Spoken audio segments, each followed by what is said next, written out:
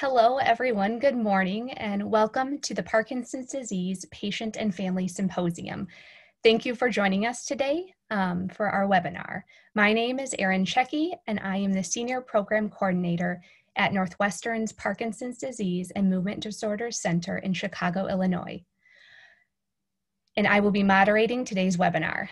Today, in partnership with the Parkinson's Foundation, we are presenting our annual Parkinson's Disease Patient and Family Symposium. Just a little housekeeping before we get started. After we hear from today's speakers, we'll take questions from our web audience during the Q&A panel. Questions can be submitted throughout today's webinar by clicking on the Q&A icon in the black banner on the bottom of your viewing page. We will do our best to address as many questions as we can. All meeting attendees will be muted during the program to help reduce background noise and echo. If you are experiencing any te technical difficulties, please send us a message using the Q&A icon. We will be recording today's virtual symposium. The recording, along with any resources discussed, including my contact information, will be sent to attendees in an email within the next week. I will now introduce Dr. Danny Bega, who will kick off today's event. Dr. Bega is an associate professor of neurology and the director of the neurology residency program at Northwestern. He has expertise in the care and management of patients with a variety of movement disorders, including Parkinson's disease, and is the director of the Northwestern's Huntington's disease and Wilson's disease clinics. His primary area of interest is the study of alternative and non pharmacologic interventions in movement disorders and their impact on quality of life and he has received several grants to carry out this research. Thank you, Dr. Bega. Thank you, Erin, and uh, thank you to everybody who's uh, joining us. Um, I am Danny Bega. I'm coming to you live from Northwestern. Um, and welcome again to our Parkinson's Disease Patient and Family Symposium, which is brought to you by Northwestern and the Parkinson Foundation. Um, I'm, I'm really excited to be doing this. We're, we do this uh, once a year large educational event. And um, this is our first time doing a virtual event. Um, and while we really miss the opportunity to meet with all of our patients, families, and friends uh, in person, uh, I'm very excited that we're able to, to get this, the word out about Parkinson's and education about Parkinson's to the community, uh, to reach people that sometimes can't come down uh, to our events. And um, hopefully you can all enjoy uh, a little education about Parkinson's from home, uh, wherever you're watching from with your family. And so I wanna thank you for letting us into your homes um, as we uh, navigate this new virtual world. I'm gonna tell you a little bit about uh, our program uh, at Northwestern and about what you can expect um, from the rest of today. Uh, and just bear with us as we navigate this technology. So at Northwestern, our mission is to provide comprehensive, multidisciplinary care for patients and families with Parkinson's disease and other movement disorders while we work on research into causes and treatments. And multidisciplinary care is very uh, relevant to Parkinson's disease uh, because it really takes many experts to, to navigate uh, the world of, of someone with Parkinson's. Um, we, we aim to promote health education and support for patients family members, partners, healthcare providers, and to the community. And, and of course, that's one of the reasons we're doing this event today to provide that education. So why, why I talk about multidisciplinary care is that Parkinson's disease is a very complicated condition and actually a, a, very different condition from person to person. We say that if you've met a person with Parkinson's, you've met one person with Parkinson's um, because really some people struggle with more of the uh, visible motor symptoms of Parkinson's, things like tremors uh, and walking problems. Whereas we know that there's actually a whole host of symptoms that can be present variably from person to person that we consider sort of below the surface. Um, things like changes in sense of smell or confusion, trouble with sleep or fatigue, uh, trouble with dizziness, depression and anxiety. And, and while this isn't a, a, a, menu of things that everybody with Parkinson's gets, we realize that there's a, a, nuance to managing Parkinson's disease where we really need to address many different issues uh, differently from person to person. And it often takes different experts to deal with these different problems. So we deal with this in a comprehensive way with uh, both medical, neurological, and, and, surgical management, as well as nursing care, uh, rehabilitation services, which you're going to hear more about from our team at the Shirley Ryan Ability Lab, um, exercise and fitness classes, which we're always talking about as being important in Parkinson's, in, in uh, your ability to remain empowered and slow down your disease, um, social services and support, and, and clinical trials into new uh, drugs and treatments uh, to improve life and slow down disease. Our, our program is, is ever growing and uh, a few things that we've actually developed in the last few years include a palliative clinic specifically for movement disorders patients with more advanced disease, uh, a movement disorders cognitive clinic led by Dr. Jennifer Goldman, who will be on our panel later today, a neurogenetics clinic, which is led by the chairman of our neurology department, Dr. Dimitri Krainc, uh, which really brings together uh, basic science research and the clinic um, and uh, it really gets into the nuances of how we might in the future manage Parkinson's disease as an individual disorder. Um, and many new faces actually in terms of neurologists and social workers and nurses helping to manage uh, Parkinson's disease. We're also streamlining more and more with our partners at Lake Forest and Central DuPage. This just represents the neurologists with expertise in Parkinson's disease just on our downtown campus. And it shows you how huge a team we have been growing over the last few years. In particular, uh, uh, three new neurologists who have just started this year with us, Dr. Danielle Larson, Dr. Rizwan Akhtar, and Dr. Alan Wu. We also, not shown in the picture, have three clinical fellows who you may meet when you come down and see us um, who are you know the future neurologists uh, who are going to be experts in Parkinson's disease. Uh, we have four clinical nurses, three social workers, a huge rehab team at our Shirley Ryan Ability Lab affiliate, a neuropsychologist, neuropsychiatrist, genetic counselor, and neurosurgeon who's part of our team. And in this new era, telemedicine has been a big part of our lives.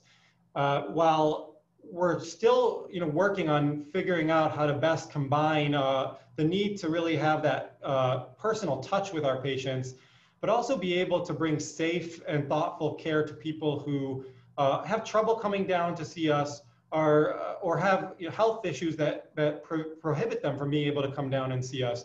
And finding ways to balance uh, the in-person visits and the, the virtual visits um, and this is something that we've gotten better and better about over the last several months out of necessity, but I think is something that's here to stay long term and which we actually are excited about optimizing. And so this, our keynote speaker today is actually gonna be talking about technology in Parkinson's disease um, as, as this is something that we're bringing more and more into our, into our practice. Our support groups, which we offer many of, uh, from general Parkinson's support to care partner support, young Parkinson's support groups, women's support groups, uh, Parkinson's Disease 101, which is a general informational session about Parkinson's, and other physical activity uh, exercise programs that we're doing across our campuses are also transitioning to virtual platforms. And again, we're working on finding combinations of in-person and virtual ways to bring this to you conveniently. So please take advantage of as many of those as possible. And you'll hear more about those from uh, Erin later on today. Northwestern is also a leader in what we call translational research. And what that means is we have scientists here who are really experts in focusing their careers on Parkinson's disease research in the laboratory. And we have experts focused on Parkinson's disease management in the clinic.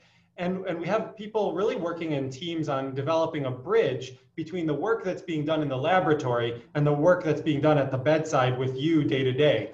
Uh, and this is uh, uh, something that uh, Northwestern uh, scientists are highly funded in, in doing this sort of, sort of bench to bedside research.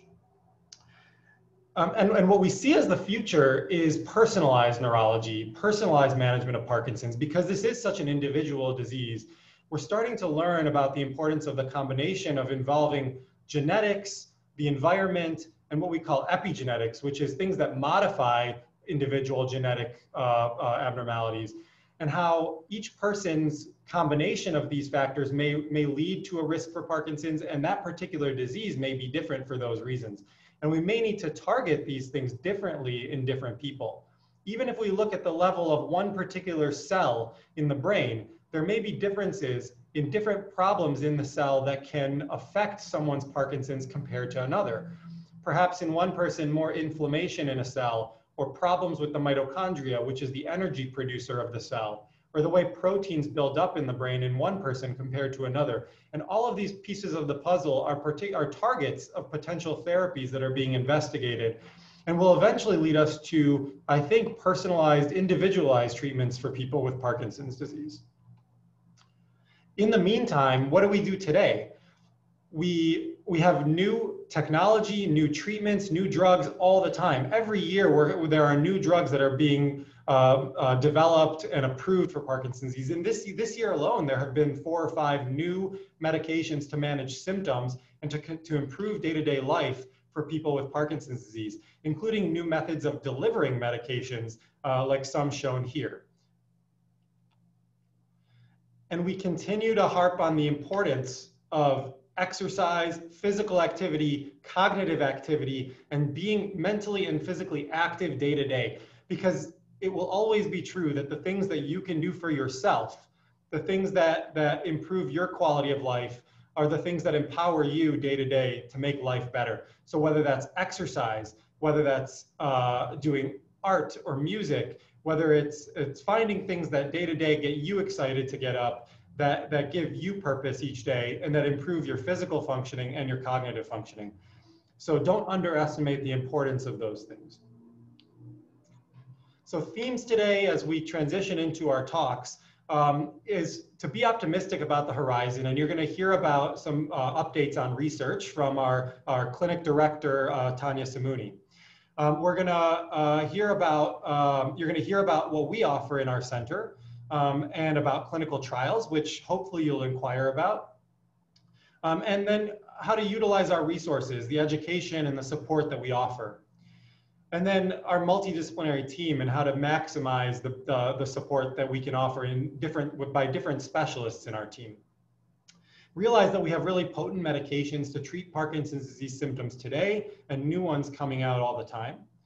And remember to really be active because it makes a big difference in your day-to-day -day life.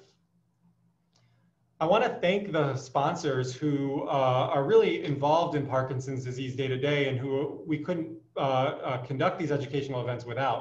And our sponsors for today's event are Abbott, uh, the Parkinson Foundation, Boston Scientific, Medtronic, Adamas, Sunovion, Supernus, Kyowa Kirin, Lundbeck, and Amneal. I also, uh, as we as we look into the uh, agenda and, and and starting the the program for today, I also want to thank a few people behind the scenes. And um, uh, first of all, Erin, uh, our social worker, who uh, is also our program coordinator, uh, who started with us this year and has done an amazing job and has organized this event today. so thank you to Erin, to to the Parkinson Foundation, Jessica Barsh and, and Danielle Agpalo, who are, are uh, helping with today's event, um, and to all of our panelists, uh, speakers, um, who you're gonna meet today, uh, and all of our sponsors, of course. Um, and so with that, this, this being the agenda for the day, I'm gonna hand the reins back over to Erin, uh, who is going to uh, take us into our first talk. Thank you very much, um, and thank you for being with us.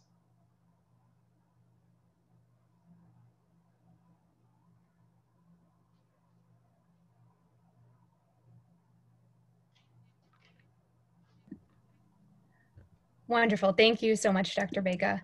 Um, as a quick reminder, questions can be submitted throughout today's webinar by clicking on the Q&A icon in the black banner on the bottom of your viewing page. It is now my pleasure to introduce Dr. Ray Dorsey. Dr. Dorsey is the David M. Levy Professor of Neurology and the Director of the Center for Health and Technology at the University of Rochester in New York. Dr. Dorsey is helping investigate new treatments for movement disorders and improve the way care is delivered for individuals with Parkinson's disease and other neurological disorders. Using simple web-based video conferencing, he and his colleagues are seeking to provide care to individuals with Parkinson's and neurological diseases anywhere that they live.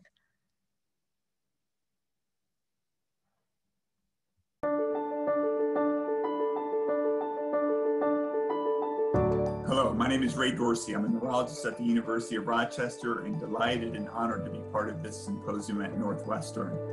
Uh, all of you should uh, count yourselves lucky. Not many people have a Dr. Tanya Simuni as their uh, fearless advocate and leader. As many of you know, uh, Dr. Tanya Simuni is an outstanding clinician and Parkinson's specialist, but what many of you may not know is that Dr. Simuni is a nationally and internationally recognized uh, expert in evaluating new and promising treatments uh, for Parkinson's disease. And on a personal level, uh, not only is she tireless, but she's fearless. And in order to end Parkinson's disease, we're going to need fearless leaders like uh, Tanya Simuni. So uh, today I wanted to discuss uh, with you over the next 15 to 20 minutes how we can end Parkinson's disease.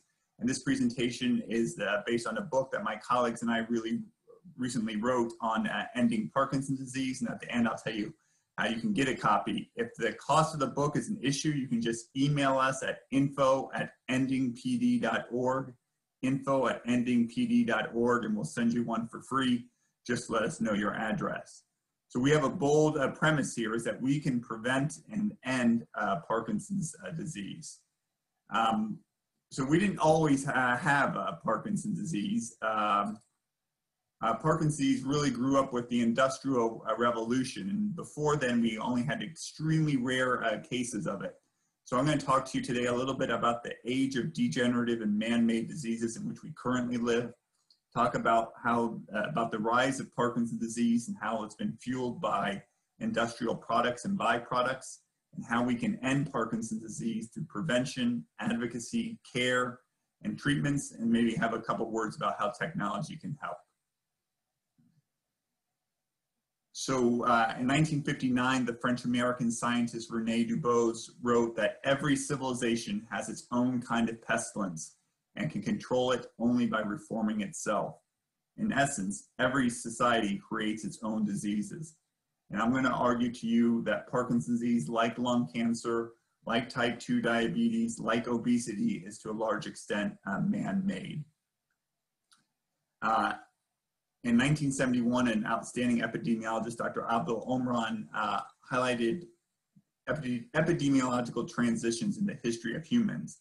And he said over the, he looked at what were the leading causes of death for humans over their 200,000 year existence. Initially, early humans died of pestilence and famine. Quite simply, there was not enough food. And then the agricultural revolution about 10,000 years ago addressed uh, the food shortage for um, many people but led to receding pandemics uh, as populations grew and were closer together. Infectious diseases like the bubonic plague in the 14th century and the influenza pandemic in the 1918 uh, killed lots of people, millions. Uh, he said, we now live in the age of degenerative and man-made diseases. Degenerative and man-made diseases. Easy examples of this are car accidents uh, uh, and certain cancers, and I'm going to argue that uh, Parkinson's disease is to a large extent man-made. In the future, he said we were going to uh, die of delayed degenerative diseases and emerging in infections, infections born out of hubris. And depending on what really is underlying cause of the COVID-19 uh, pandemic, that actually might be an example.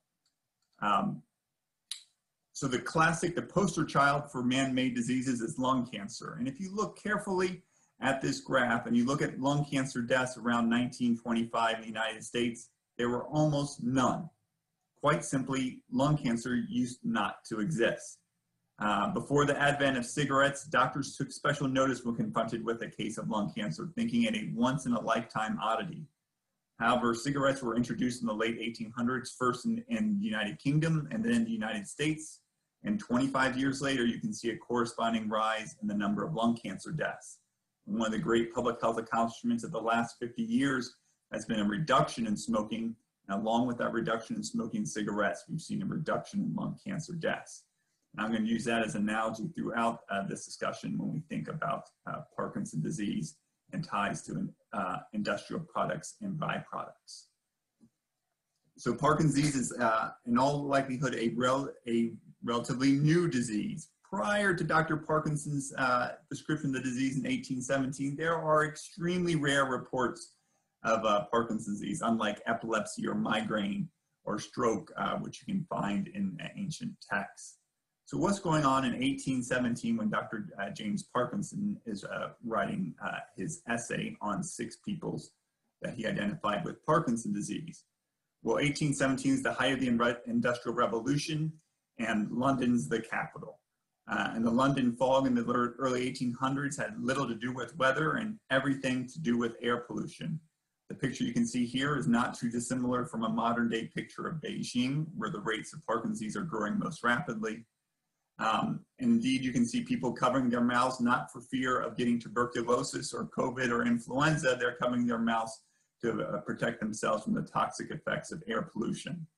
Uh, and several studies since uh, that time have linked uh, air pollution uh, to Parkinson's disease. And it's quite possible that air pollution, small particulate matter, may be carrying heavy metals in through the nose back to the brain and contributing uh, to Parkinson's uh, disease. Uh, as I said, Parkinson's, or maybe I haven't said, Parkinson's disease is the world's fastest growing brain disease. The world's fastest growing brain disease is not Alzheimer's disease, it's Parkinson's disease. Over the last 25 years, the number of people with Parkinson's disease has more than doubled globally. And if we don't act, if this generation, if you listeners and Dr. Simuni and I don't act, the number of people with Parkinson's disease will double again in the coming 20, uh, next 25 years. Today, about 200 Americans will be diagnosed with Parkinson's disease and another 100 will die of the disease.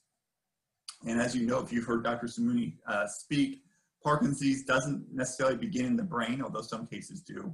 Uh, and initial features of the disease aren't tremor and slowness of movement, but are loss of smell, and anosmia, or constipation. And these two early features of Parkinson's disease might give us a clue to where the disease is beginning. And uh, as I alluded to, air pollution and certain heavy metals have been linked to Parkinson's disease, and those likely enter in through the nose. Certain pesticides, many of which are just nerve toxins, are either inhaled uh, from people who work with them or ingested from those who uh, drink contaminated water or food laden with uh, pesticides. And other industrial chemicals like trichloroethylene um, are also either inhaled or ingested.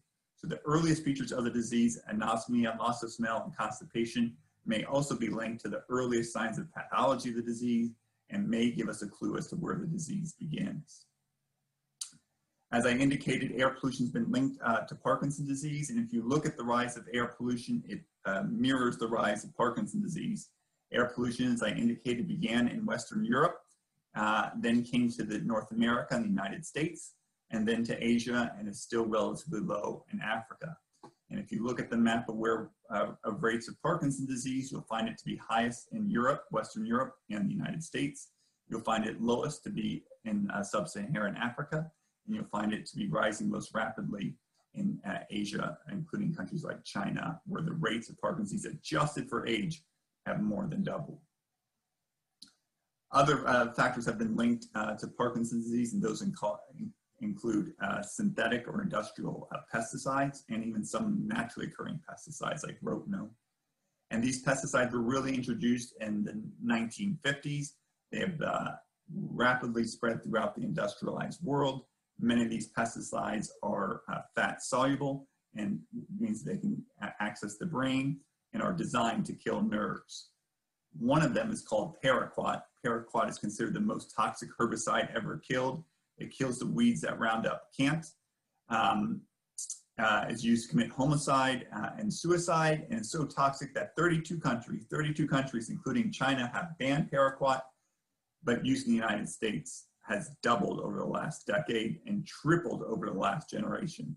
You can see that paraquat is uh, widely used throughout uh, large parts of the United States, and including and covering uh, farms in Illinois.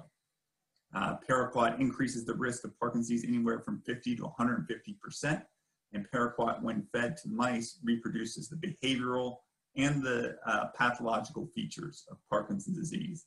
Indeed, many of the animal model, early animal models of uh, Parkinson's disease were based on pesticides, including paraquat. Pesticides are not the only uh, uh, environmental factor associated with uh, Parkinson's disease. This industrial solvent called trichloroethylene, uh, or TCE, was uh, considered to be ubiquitous in the 1970s, was used to decaffeinate coffee, was used as an anesthetic, was used in dry cleaning, used as a, widely used as a degreaser. Eight percent of workers in the United Kingdom are estimated to have worked with this chemical. And we discussed this chemical uh, in the book uh, uh, Ending Parkinson's Disease, which I'll show right here. And I'm just going to read you a little bit of a story about uh, Danny Fromm, uh, who was kind enough to share his story uh, in the book. And I'll share his story with you now. In 1988, Danny Fromm was a typical Southern California teenager who enjoyed working on cars, especially his red 1972 Chevy Nova with a black top. He paid $1,300 for it, money he had saved from working as a gas station attendant at the local Unocal 76. Fromm and his buddies replaced the car's engine, which made it really awesome and really fast, he recalled. The car gave the 17 year old the freedom that he craved, freedom to do what he wanted, when he wanted freedom that he no longer has. Straight out of high school, Fromm began working in the aerospace industry, cleaning circuit boards with the solvent trichloroethylene, TCE. Never warned of any risk or provided with protective gear, he inhaled the sweet smelling chemical and ex exposed his skin to it for eight hours a day over the course of a decade. When Fromm was 35, he noticed that his right pinky kept twitching. Stress, his first doctor said, and recommended a little wine. His second doctor gave him a much different diagnosis, Parkinson's disease. Uh, I'm going to skip forward a little bit. Fromm is now 48 and lives in Idaho with his wife and six-year-old son, Logan. He has two older sons who live nearby with their mother. In the morning, Fromm has trouble walking. He has what he calls a hardcore shuffle. So he takes his medication immediately after he wakes up and he does leg exercises to relieve his leg stiffness. Is then able to get out of bed, shower, and dress without assistance. He and his son Logan spend a lot of time together. Occasionally, Logan will mimic Fromm's walk, even his shuffle, in a good natured way. His son rarely speaks of the disease, though, Fromm says. I better have a good relationship with Logan. He's going to take care of me when I'm older.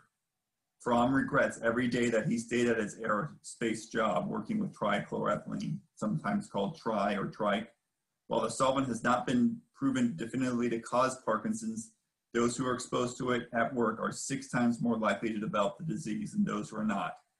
If you're working with it, Fromm says, quit your damn job and get away from it. And so you need not have just worked with trichloroethylene uh, to be affected by it. Uh, over half of Superfund sites, federally designated uh, sites for cleanup that are so uh, federally designated sites for cleanup, uh, over half of these sites including many in Illinois and, and many in Chicago or near Chicago, are contaminated with TCE. Over half of Superfund sites in the United States designated for cleanup are contaminated with a chemical that increases the risk of Parkinson's disease by 500%. Um, this TCE is uh, inappropriately just often poured into the ground. It then leaks into the ground and then contaminates groundwater. It's considered the most con common uh, contaminated groundwater in the United States. It then enters these underground plumes, which can migrate miles and evaporate from the ground in the soil, much like radon, and enter people's homes, workplaces, and schools undetected. I found out in the course of writing uh, the book that there was a, uh, a TCE plume uh, 15 minutes from my house, and we discussed the story of an individual who lived in this neighborhood. And one day I noticed that uh, they could no longer run up a hill, and were subsequently diagnosed with Parkinson's disease. Uh, these uh, contaminated sites are found throughout the United States. 21 are found in Silicon Valley, where TCE was widely used in, uh, to clean silicon wafers. They're found in Michigan. They're found in Las Vegas. And in uh, preparation for this uh, uh, call with you, I found reports in DuPage County, where TCE had contaminated water uh, for people uh, getting their water from private wells in DuPage County. TCE has real consequences. Uh, Jane Horton lives uh, in Mountain View, California, across the street from Google. Uh, the headquarters of Google. The headquarters of Google is located on a uh, Superfund site that was contaminated with TCE by Intel and Fairchild Semiconductor. She found out about this, had her indoor air tested because she lived uh, right near the site and found it to have high levels of TCE in her, in her house. She had, in her words, her house cut, butchered, and vented, and had this out, outdoor uh, this ventilation system put in that sucks out air from underneath her house and emits it above her house.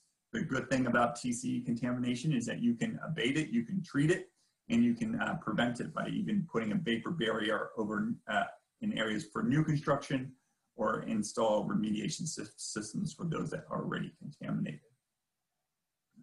Uh, so I told you a little bit about the rise of Parkinson's disease. So what can we do to uh, address it? So we can uh, start with a PACT, P-A-C-T, to end Parkinson's disease. Prevent, advocate, care, and treat. So the first thing we need to do is with any pandemic, whether it's COVID or uh, wildfires or Parkinson's disease, is to prevent, is to contain it and prevent other people from becoming affected. So we need to do that by banning, banning paraquat and trichloroethylene these chemicals have, the EPA has proposed banning both of them, but they have, uh, the present administration has yet to act on, on doing so. Uh, in our book, we have some black pages at the back, which outline a prescription for action to end Parkinson's disease. And the first one is to contact the EPA administrator, Andrew Wheeler, and ask him to ban the pesticide paraquat and the chemical uh, TCE. We give you his email address and his phone number, 202-564-4700. I sent him a copy of this book and along with a nice note, and I called his office asking him to ban paraquat. I encourage you to do the same. And you can also exercise. Vigorous exercise not only helps people with the disease, but can prevent, lower the risk of developing the disease by about 20%. The Mediterranean diet, high in fruits and vegetables, low in uh, animal products uh, may also be beneficial for those with the disease and in preventing the disease. And modest amounts of, of caffeine, equivalent to one to four cups of caffeinated coffee, can help as well, as can wearing a helmet and protecting against head trauma. We need to make our voices heard. In the 1980s, we, confront, we confronted, a society confronted an unknown virus that was rapidly fatal and we had no federal response. In that setting, a group of HIV activists in New York City, led by the late Larry Kramer, adopted a motto of silence equals death. For Parkinson's, silence doesn't equal death, but it equals suffering and needless suffering. The 1.1 million Americans who have Parkinson's need to make their voices heard. We need to push for more research funding for Parkinson's uh, disease. At the same time, the number of Americans is, with the disease has increased 35%, funding for Parkinson's from the NIH adjusted for inflation has actually decreased. 35% increase in number of people with the disease, funding uh, adjusted for inflation has decreased. Uh, participate uh, in research like many of you are doing with Dr. Simuni. We need to improve the way we develop, uh, way we deliver care. My colleagues and I have been uh, advocating for telemedicine for over a decade. In the setting of a pandemic, we've uh, seen broad, broad adoption of telemedicine. However, all the uh, policy changes that have enabled uh, many Medicare beneficiaries, including many of you, to receive care via telemedicine are temporary. They are temporary in the setting of a public health emergency. We need to make sure that these uh, policy changes become permanent. And then we need better treatments, and Dr. Simuni is leading this effort. But to get better treatments, we need better measures of the disease. you know, we currently measure the disease by having you tap your thumb and index finger and having someone like Dr. Simuni rate that as a two, and someone like me might rate it as one. We need objective measures of the disease. All of us carry around with us uh, supercomputers called smartphones. We can use these devices and others to get objective, real world measures of the disease, uh, any uh, for participants, regardless of uh, where they live. Um, finally, I got to acknowledge my uh, co-authors. Dr. Todd Sherer is, uh, uh, is the CEO of the Michael J. Fox Foundation and 20 years ago uh, conducted groundbreaking research identifying that chronic exposure of a pesticide called rotenone can replicate the effects of Parkinson's disease in mice. Dr. Michael Okun is the medical director for the Parkinson's Foundation and uh, is a pioneer in deep brain stimulation. And Dr. Bas Bloem is a Parkinson's specialist in the Netherlands who's created the largest integrated care uh, program for Parkinson's disease called Parkinson Net. Um, uh, I also want to thank uh, many of the people who shared their stories. I think over 40 people shared their stories and they are featured in the book. As you can tell from the book, it's not highly technical.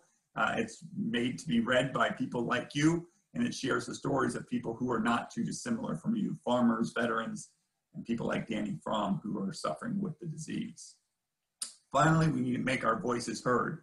You can uh, order uh, the book uh, right now uh, while you're at home uh, on uh, Amazon. So hopefully got this right. you can just go to Ending Parkinson's, you can order it. all the author's proceeds are being used to, are being devoted to efforts to end Parkinson's. All the authors are donating their efforts, their proceeds to efforts to end Parkinson's. If you've read the book, please click on ratings and review the book. We need to get the word out. Uh, Parkinson's, we are in the midst of a, of a COVID pandemic and we're in the midst of a Parkinson pandemic. The only way these pandemics are ended is when broad uh, members of society rise up, take action, and gather together to work to prevent people from ever developing the disease and work to end it. Thank you very much.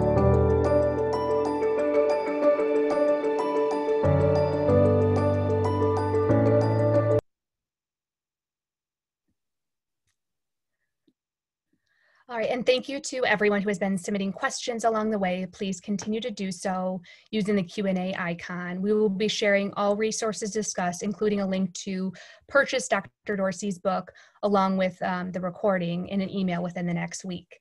Um, it is now my pleasure to introduce Dr. Tanya Simuni.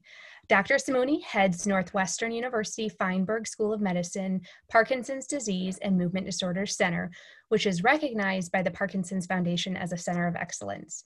She is a world-renowned expert in Parkinson's disease modification studies, has more than 100 publications in peer-reviewed scientific journals and book chapters, and has lectured nationally and internationally on Parkinson's disease and other movement disorders. Good morning. It is my great pleasure to welcome you to the Parkinson's uh, disease uh, movement disorders uh, symposium at Northwestern 2020. Uh, First of all, I want to join Dr. Bega in welcoming you to this virtual program. As all of us are aware, there are a lot of new things and different things happening in 2020 and virtual format of the program is one of them. And I think that as many of you look at the challenges of this year and reflect on them, and I always try to find a silver underpinning and the fact that we can reach much larger audience and that you didn't have to travel two hours to get to this uh, program is one of them.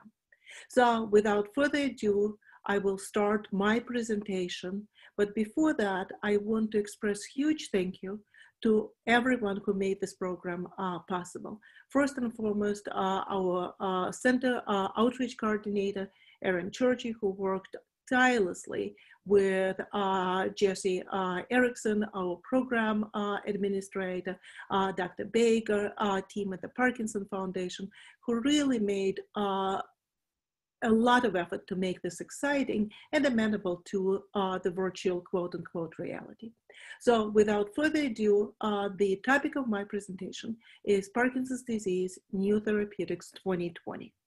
Uh, these are my disclosures and some of them are relevant to the programs that I will be discussing over the next uh, 20 minutes.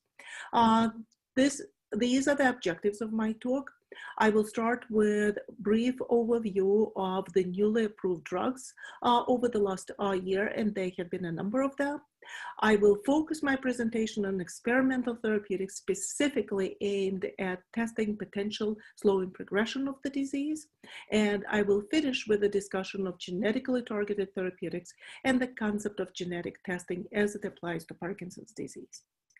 This diagram provides a high-level overview of uh, how we understand the natural history of progression of the disease.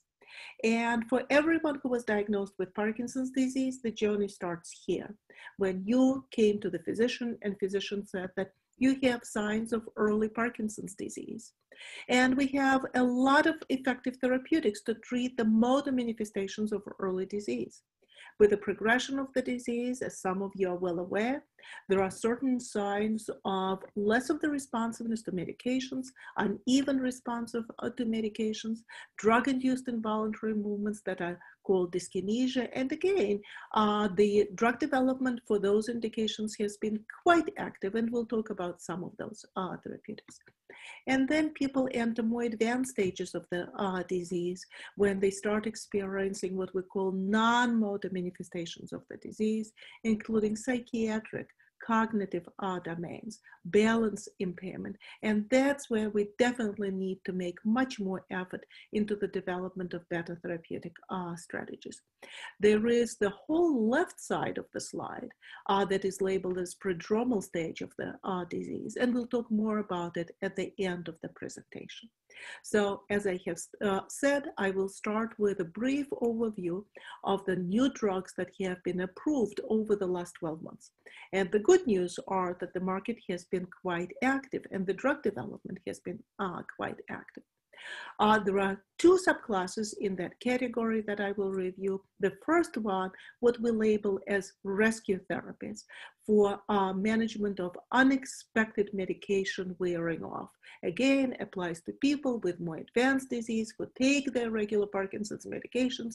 And despite uh, that, the medications might not last as long and they experience periods of time when the medications do not work or have not kicked on yet. So two drugs have been approved for that indication. One of them is inhaled levodopa, and the, upper, uh, and the other one is apomorphine sublingual strip that was approved very recently. And the next class are standing medications that compared to the rescue therapies that you take when you need them are taken in conjunction with the rest of your medication regimen.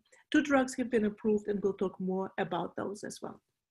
So in the category of rescue therapies, I purposefully have put two drugs side by side for the comparison. The first of them is inhaled levodopa that has been on the market for a number of months uh, by now. So some of you probably are taking it and more familiar with it. Uh, the brand name is Inbrija. It's inhaled levodopa. So your old familiar uh, drug packaged as a powder in uh, the inhaler preparation. And uh, the person can open that inhaler and inhale uh, the medication. Efficacy was tested in uh, phase three uh, studies, and efficacy was measured by time to onset of the effect.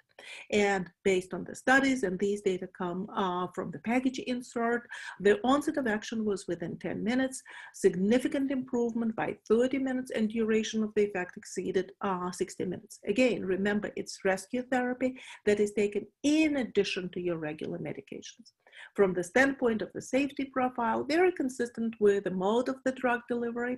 About 15% of the participants experienced cough, upper respiratory infection uh, was less uh, common. And again, we're hearing similar uh, feedback from the patients while they're taking it already as an approved medication. On the right-hand side is more recently approved drug, again, not a new drug. Apomorphine has been available for number and number of years. It's actually one of the oldest Parkinson's medications.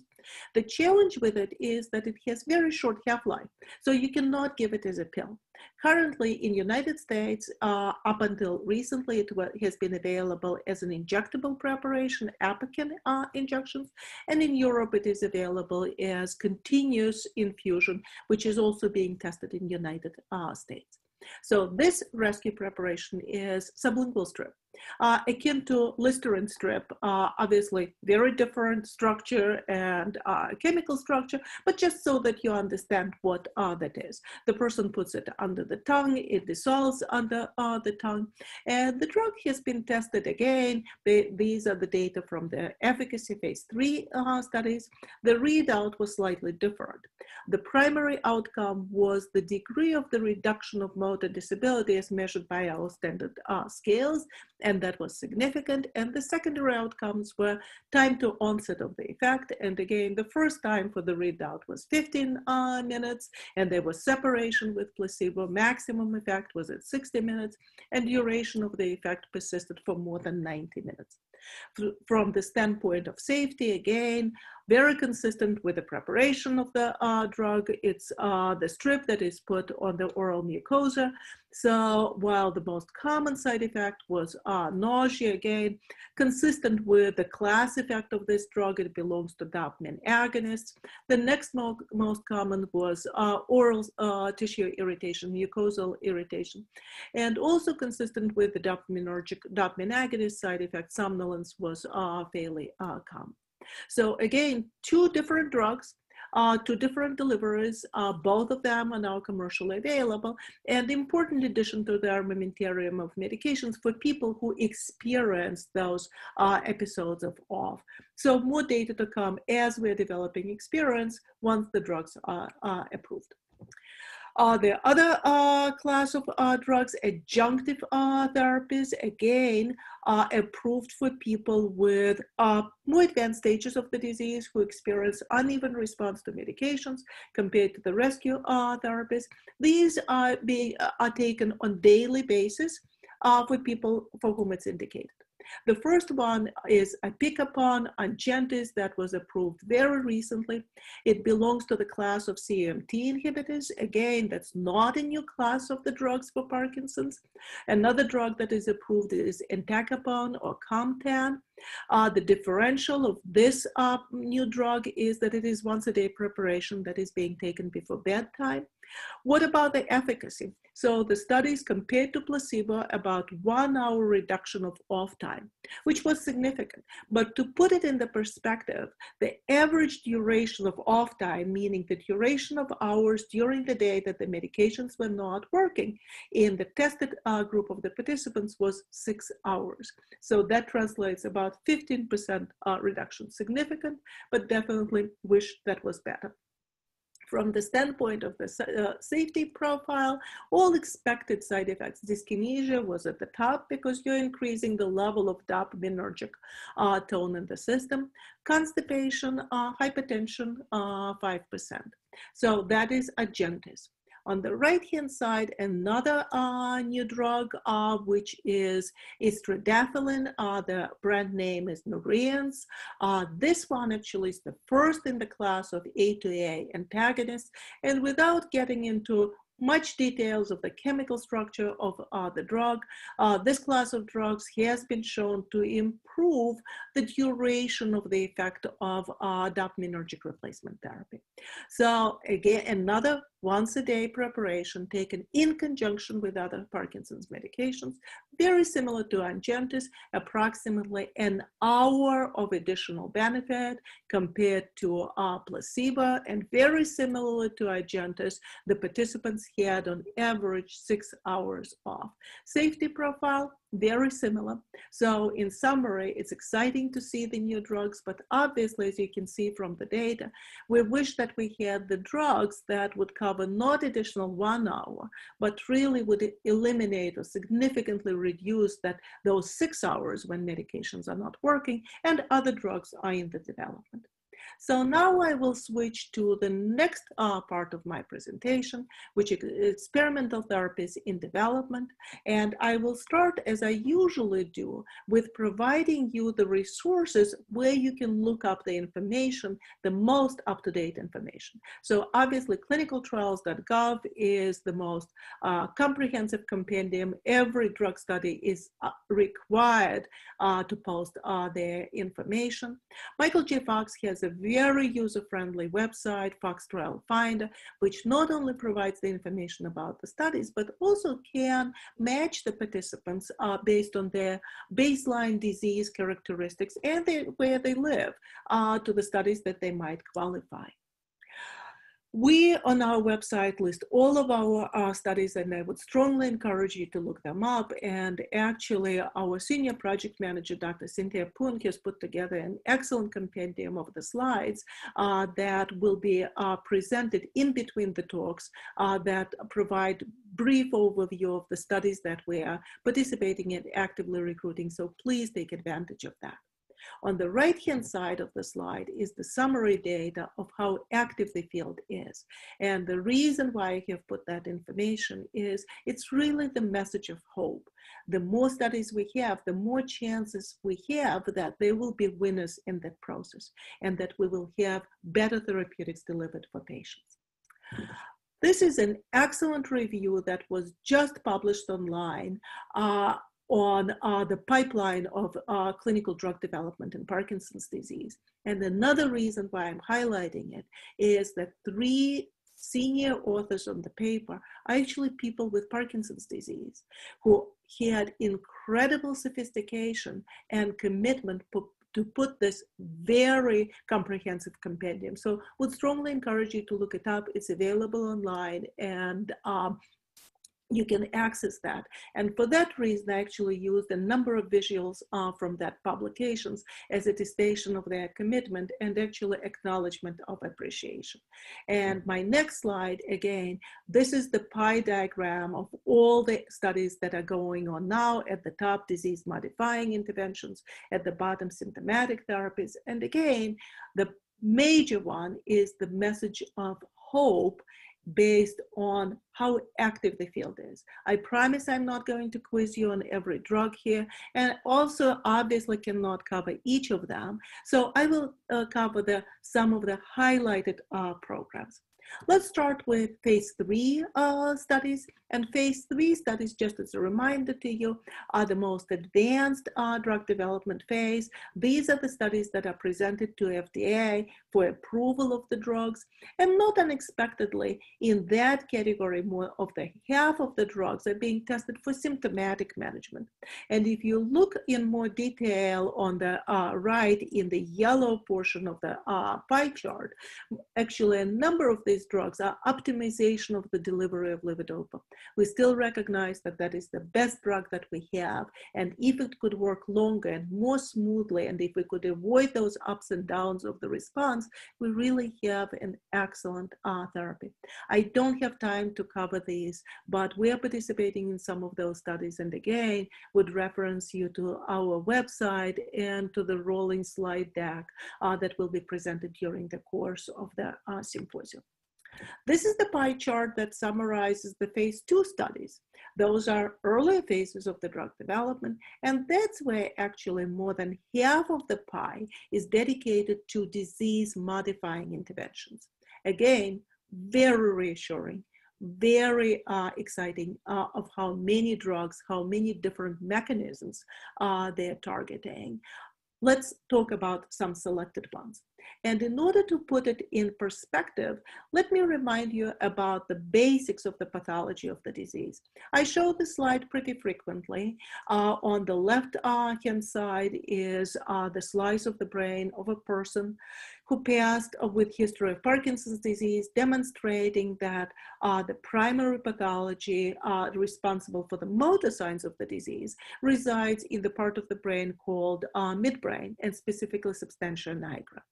And approximately 100 years ago, prominent pathologist Dr. Lewy has demonstrated that actually cells uh, contain what is now called Lewy bodies.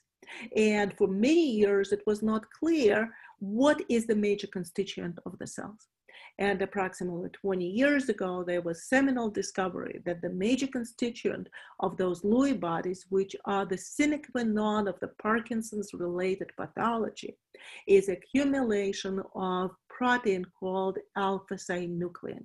And we'll talk more about it because it's a very important therapeutic target, synuclein targeting therapeutics. So is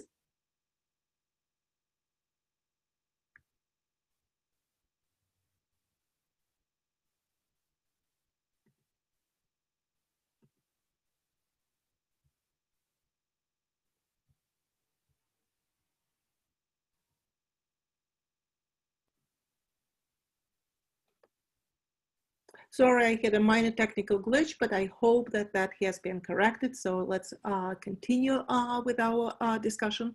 So um, alpha-synuclein is actually a normal constituent protein of uh, the cells that has a lot of important functions. But what happens with in Parkinson's disease, uh, it accumulates, it condenses and creates quote unquote clumps, what is called oligomeric synuclein, as well as fibrils. And that abnormal accumulation, as well as failure of the cells to clear that protein, which creates toxic protein and contributes to the mechanism of the development of the disease. The bottom part of this slide summarizes that there are a number of potential therapeutic targets targeting synuclein. Uh, the one that is most advanced in the development is targeting synuclein that already has left the cells and propagating between uh, the cells. And we'll talk about synuclein uh, targeting uh, antibodies. So, synuclein targeting uh, antibody uh, therapeutics are definitely at the forefront of uh, uh drug uh, development. Two companies uh, have started their programs approximately at the same time. Both of these are phase two drug development. The first one is uh, Roche, and because it started a little bit uh, early, they actually just uh, two weeks ago presented uh, the results of their uh, study at the International Movement Disorders Congress. Well, the study did not uh, reach its primary uh, endpoint. Uh, the drug demonstrated signal of the efficacy for the reduction of motor disability and also had a positive readout on digital measures which are very important as more accurate assessment uh, and more long-term assessment of disability. So based on those results, the company has announced that they are planning to proceed with a phase three study, so more data are coming. Biogen started the program a little bit later, very similar concept, intravenous infusion of uh, synuclein targeting antibodies. Uh, the data uh, collection for the first year of the study participation has been completed, and hopefully we'll be seeing the results uh, soon. Uh, we as a center have participated in both of the uh, studies that continue to participate, so huge thank you to the participants, and obviously we'll be sharing results as soon as the companies share the results with us.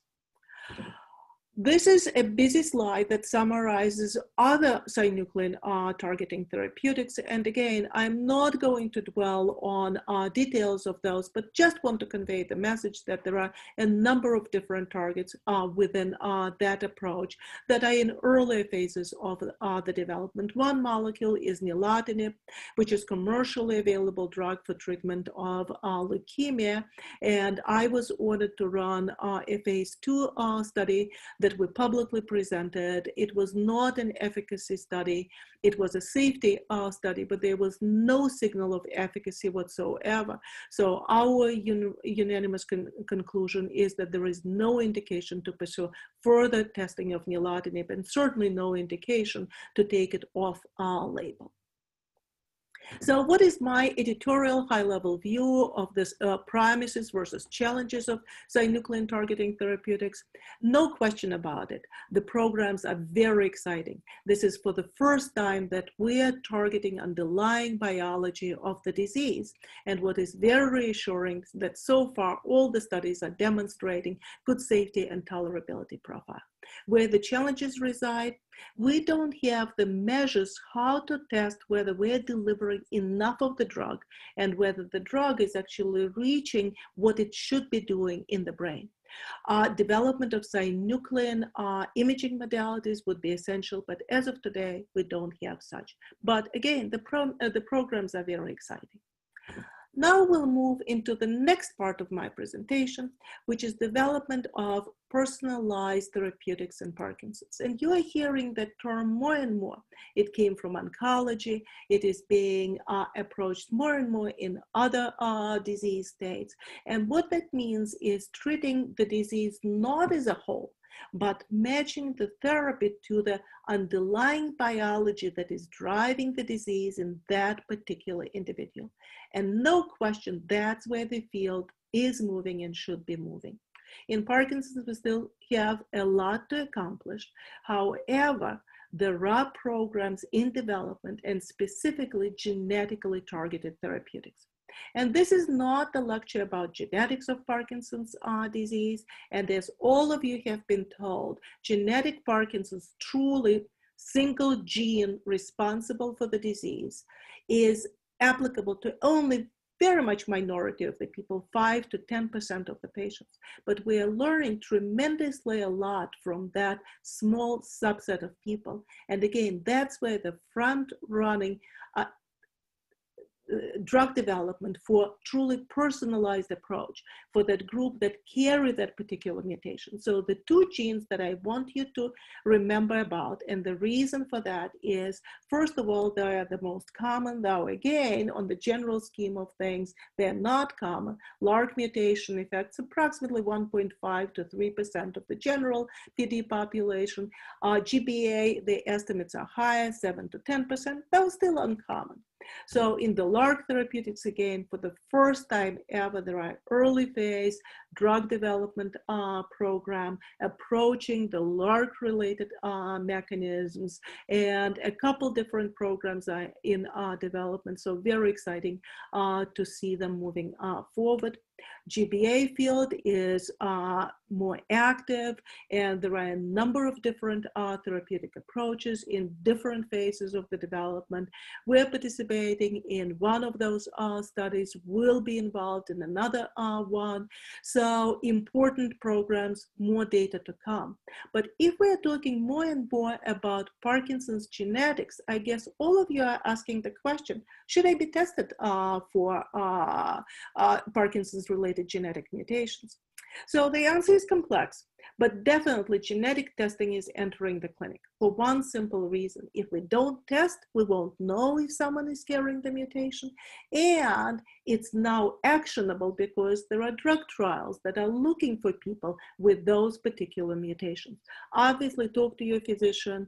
Genetic counseling is very important because results of the tests, if they are positive or negative, can impact not only you, but your family members. And you need to know that insurance frequently do not cover genetic testing, but luckily there is a number of research programs that are being launched and have been launched. And at the forefront is PDGene uh, study launched by the Parkinson Foundation that offers ge free genetic testing in the research environment to any person with Parkinson's uh, disease. Michael J. Fox has a number of uh, programs, and we at Northwestern have um, a program that is called biorepository, while the previous ones uh, are designed to return the results uh, to the participants. We have an ambitious goal to uh, collect DNA samples from every person with Parkinson's seen in our clinic for future research. And a number of you have been approached for those programs. And I'm very excited to inform you that that program has been launched not only at downtown, but at Lake Forest and Central DuPage as well. So now coming to the end of my presentation, a lot of people, specifically people with newly diagnosed disease, legitimately are anxious. What does the future hold? How will my disease behave? So a couple high level advices. Seek expert opinion in a specialized Parkinson's center. The management of Parkinson's is complex and intricate, so it is of value to see an expert specifically in that disease. Parkinson Foundation has a lot of educational materials. Take advantage of them. We have a lot of information on our website. Inquire about clinical trials. And that's why I'm very pragmatic. If you don't participate in the studies, we will not have those new drugs because we won't have sufficient number of participants to test those uh, interventions. Be reassured that we have potent medications to treat Parkinson's symptoms, especially in the early phases of uh, the disease. Talk to your doctors exercise is essential and having a positive outlook is important. So speaking of exercise, I'm very excited to tell you that the first phase three study of efficacy of exercise intervention in newly diagnosed people with Parkinson's is actually has been, is being launched out of Northwestern by Dr. Corcos. And you probably have heard about that uh, before, but this is a high level design of the study. It's looking for people with newly diagnosed disease, and it's actually testing two active interventions, high intensity intervention versus moderate uh, intensity intervention. So for those of you who are interested, please uh, reach out. We have a flyer about the study. And as I have promised, I will close my presentation with the same slide where I started with. So far, we've been talking about people diagnosed with Parkinson's disease.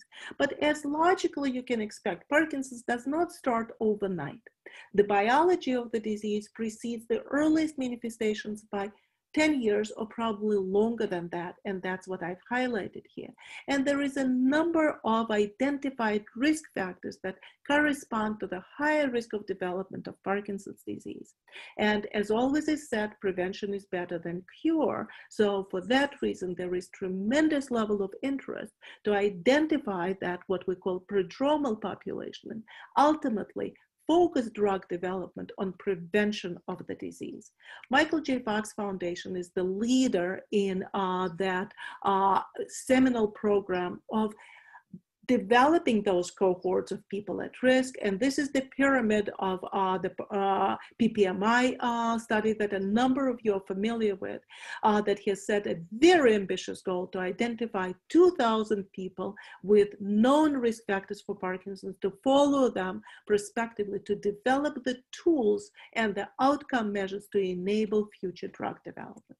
So I think my last slide is uh, these are the objectives of the study. And the study is looking for people with newly diagnosed uh, Parkinson's, for first degree relatives of people with Parkinson's above the age of 60, for healthy controls, and people who carry certain risk factors. So all of you sitting in the virtual audience potentially could reach out to your family members, to friends, and ask for them to volunteer. It is a seminal study and very important. So ask us uh, the questions. And with that, I will close. And I always close with that slide. How can you help?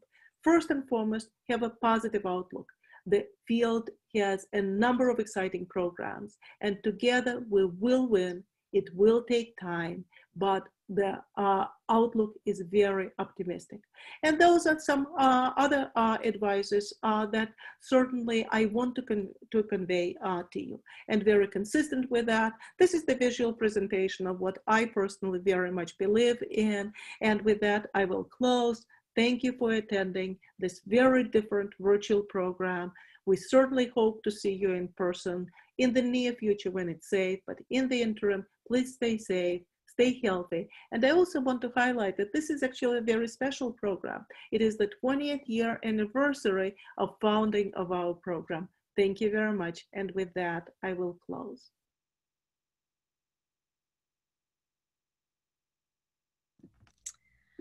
All right, we will now pause for a 10 minute break. So we will return um, our programming at 1120. I want to again thank the sponsors of today's symposium of course, our co-host Parkinson's Foundation, Abbott, Medtronic, Supernus, Sunovion, Kyowa Kirin, um, Adamas, Boston Scientific, Lundbeck, and Amneal. During the break, um, we will also be showing an overview of Northwestern's clinical tri research trials, as well as a video from the Parkinson's Foundation. But again, please get up and stretch and do what you need to do to take care of yourself. And again, we will um, we will address your questions that you've been submitting through the Q&A during the live Q&A portion of today's program, which will be a little after noon. So again, everyone, thank you, and we will return at about 1120.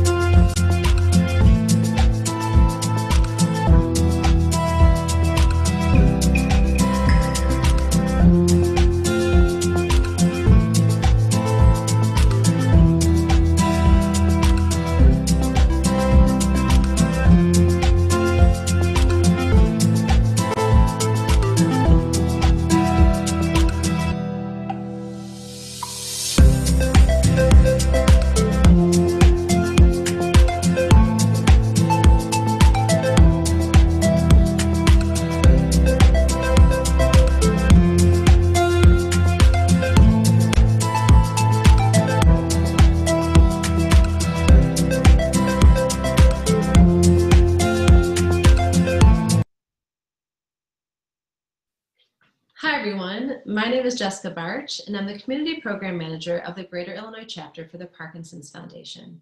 Thank you so much for joining our program today. We will be resuming in just a few minutes, but prior to that, I'd like to share some information with you. The mission of the foundation is really to make the lives of those better who are affected by Parkinson's disease. Whether you are someone who lives with PD or whether you love someone with PD, we are here for you. And we truly believe that knowledge is power and that our educational programs can help improve the quality of life for someone with Parkinson's. So I'd like to share some information about some upcoming virtual programs with you. At the start of the pandemic, the foundation launched our PD Health at Home initiative. And the idea really was to reduce the isolation in the Parkinson community and bring together the community and have great topics that pertain to you, topics that you find truly helpful. We are proud to say that the foundation is still hosting this program and our focus is on Mondays, Wednesdays, and Fridays. On Mondays, we focus on mindfulness. On Wednesdays, we focus on wellness. And on Fridays, we focus on fitness. If you're interested in learning about any of these programs or registering for them, please visit parkinson.org backslash pdhealth. The Greater Illinois chapter also has some great programs coming up as well. On October 22nd, we have a program called Let's Talk About It, Symptoms Beneath the Surface. On November 14th, we have a program that is focusing on nutrition. And on December 5th, we have a program that focuses on exercise and creative therapies. I will be sharing some slides with you after this, just so you can see all this information for yourself. Last but not least, we have our yearly fundraiser called movingdaychicago.org.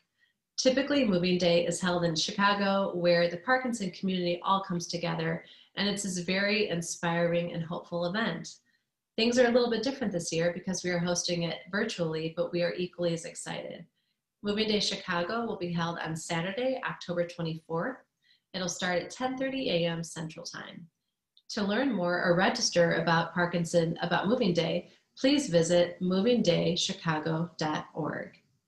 Thank you so much. We will be sharing some slides with you to show this information. Please enjoy the rest of the program.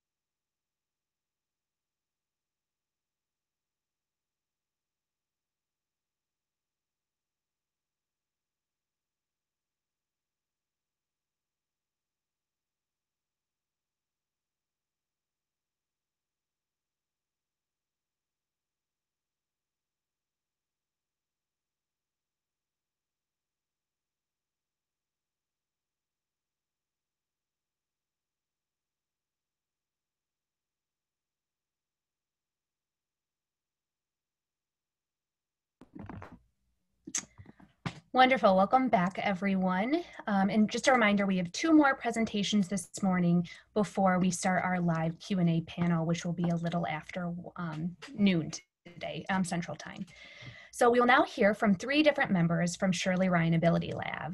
Catherine Metter is a certified speech language pathologist with over 20 years experience working with both pediatric and adult populations in outpatient settings in various states over the years. She has spent the last 15 years with Shirley Ryan AbilityLabs working with patients who develop neurological deficits. Laura Lee Landmeyer is an occupational therapist at Shirley Ryan AbilityLab Northbrook Outpatient Center.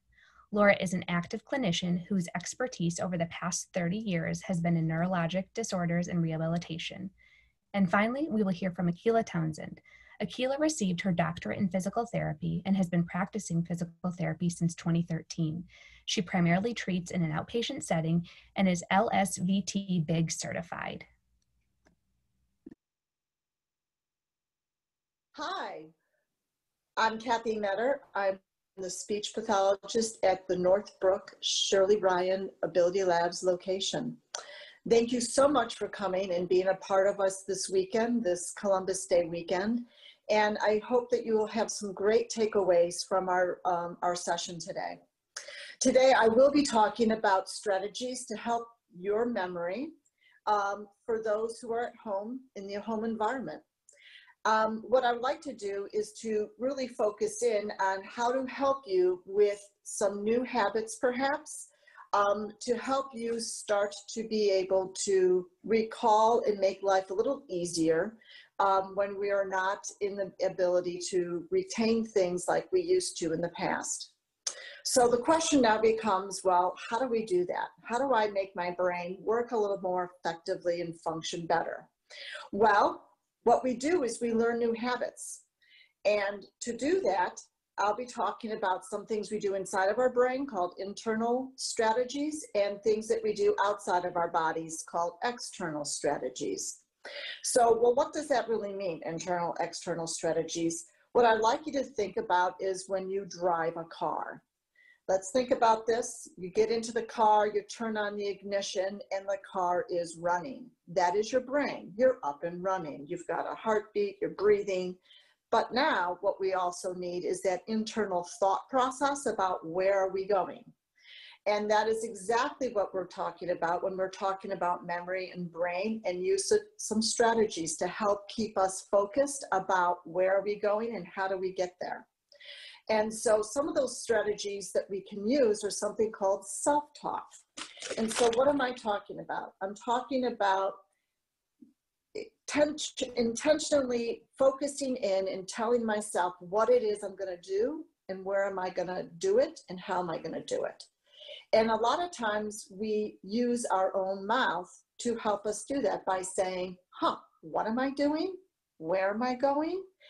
Out loud when you do it out loud, it helps us rein in our thoughts and helps us process what we're saying and doing and helps us stay focused on what it is we need to do. Another thing that we like to use in strategy land in, in keeping ourselves together are all of our own little tools that we use, such as smartphones, um, helping us keep things straight by keeping uh, calendars, alerts, on our phones and to-do lists in front of our eyeballs. Um, again, when it's in view, we're more apt to use them and to remember something. Okay, we have other visual aids to help keep us focused and on target. Calendars. We all use a calendar. However, you need to place them now where your brain will see them. What does that mean? That means that I don't bury it uh, underneath a book. Um, it means that I have maybe one main calendar that my spouse or caregiver and I share, and it's posted maybe on my refrigerator where I know I pass by every day and I can see it. Or I might have it located with me in my memory station area, which I'll talk about in just a minute.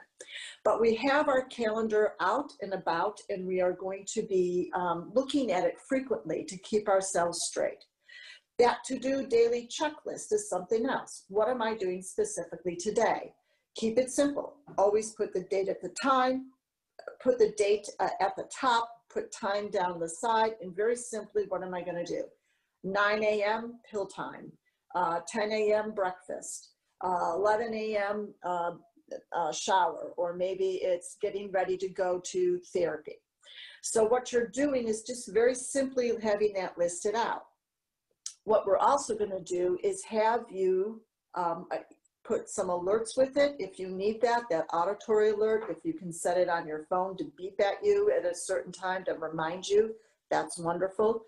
Um, it could be that um, you are also setting that reminder with a time for travel included. So if you know it's a little harder to get out of bed in the morning and get dressed, it takes a little longer, understand that that's got to be built into the time you're going to put for yourself. It's not that the appointment's at two o'clock. It might be that you want to remind yourself, I need to be in the car by 1.30 or 1.15 because it takes me that longer or that much more time to transition into the car and then to drive there and to get out of the car. Another little thing that I like my clients like to do is to sometimes they're going out into the car and then they have to run back into the house because they've forgotten X, Y, and Z. If that is becoming a problem, you can always list a reminder. Do I have my? And you can list for yourself the things you typically take. Um, so what I have here in front of you is a list of these different items that I'm going to be talking about, but I'm going to have us go to the next slot.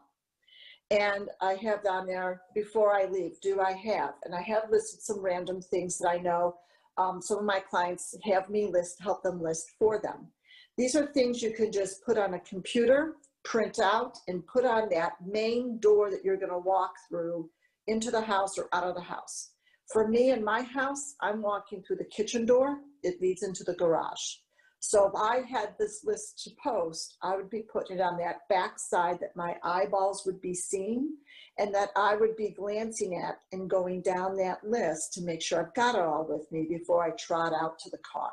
The next slide is showing you another concept that we all have in our homes, I'm pretty sure. It's called a dumping space. Um, I can attest I have my dumping space. We all have a dumping space where we put things and then they tend to pile up. And it's called clutter. If you're finding that you're having a lot of clutter, you need to declutter those areas that you tend to live in, if possible. Why?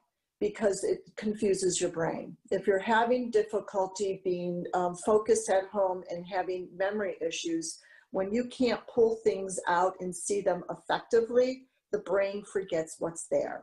So I can guarantee that whatever's at the bottom of that pile, yes, you've forgotten what's there. So we want to declutter our space. The next slide is showing you a memory station concept. This is something you can do in your house to make things less cluttered and more simple. The idea is here that you have your pills, you have your reading glasses, you have a calendar, you have your memory board in front of you, and it's in a simple spot that's not cluttered with stuff, and it's your go-to spot. This will be your memory for the day. What am I going to go do? This simplifies you having to ask someone else, what are we doing at one o'clock? Or where are you going at one o'clock? Um, some of my patients do have that problem as they progress in Parkinson's where they don't hang on to those little bits of information like they used to. Having that visual memory piece there, freely accessed, so that you're not feeling anxious and you can just look and know where to look, frees you up to doing other things. The next slide is showing you when I'm coming in and out of my house, I should be able to empty out my pockets into a short little bin. I don't care if it's a plastic bucket, it can be a lovely little basket, it can be just a spot on a counter.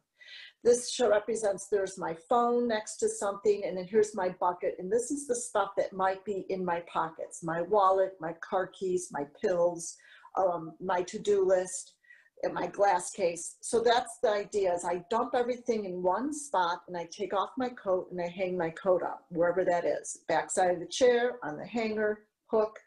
And you have that spot to dump and unload your pockets all in one area.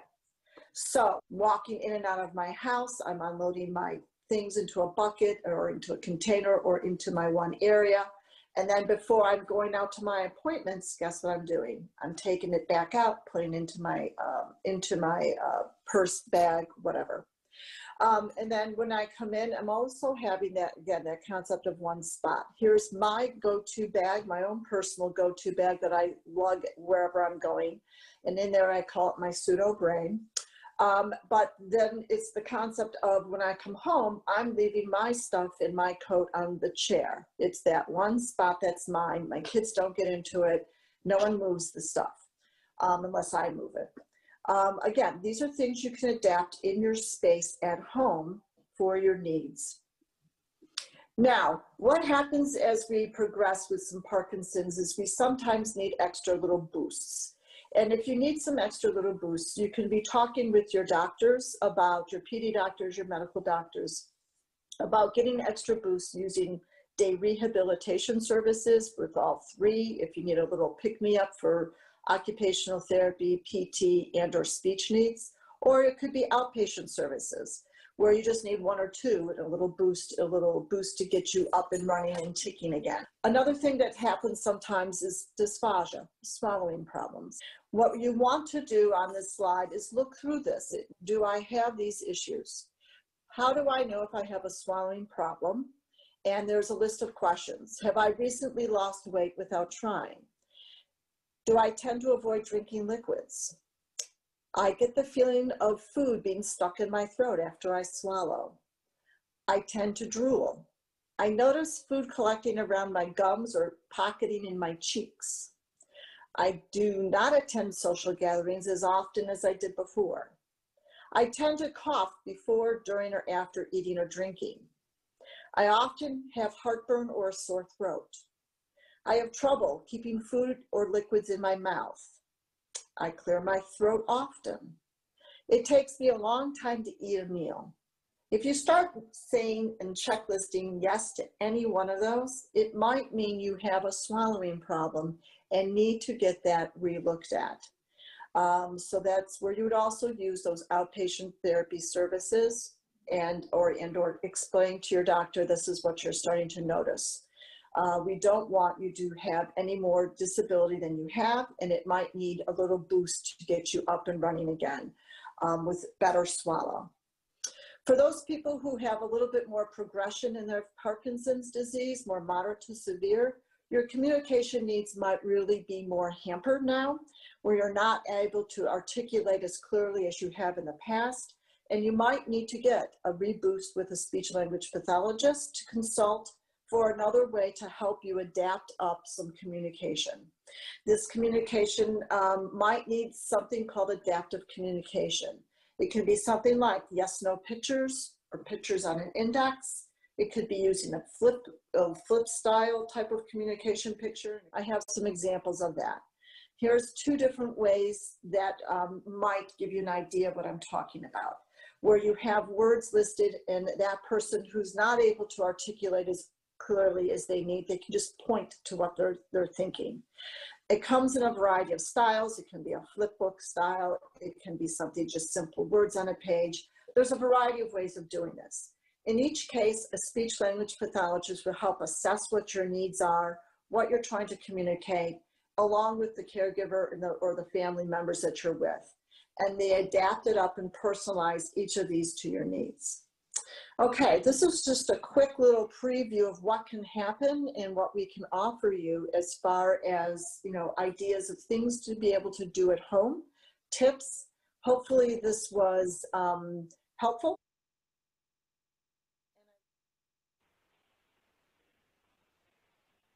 Hi, I'm Laura Landmeyer, an occupational therapist at Shirley Ryan AbilityLab, and welcome to the symposium. I'm honored to be able to speak briefly on a topic that often comes up during rehabilitation. Often I hear two things.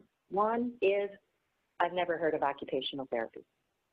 And second, I get too many recommendations and exercises, and I really just don't have the time to do all of them. And I agree. So let's talk about some strategies that can help you do and help make it work.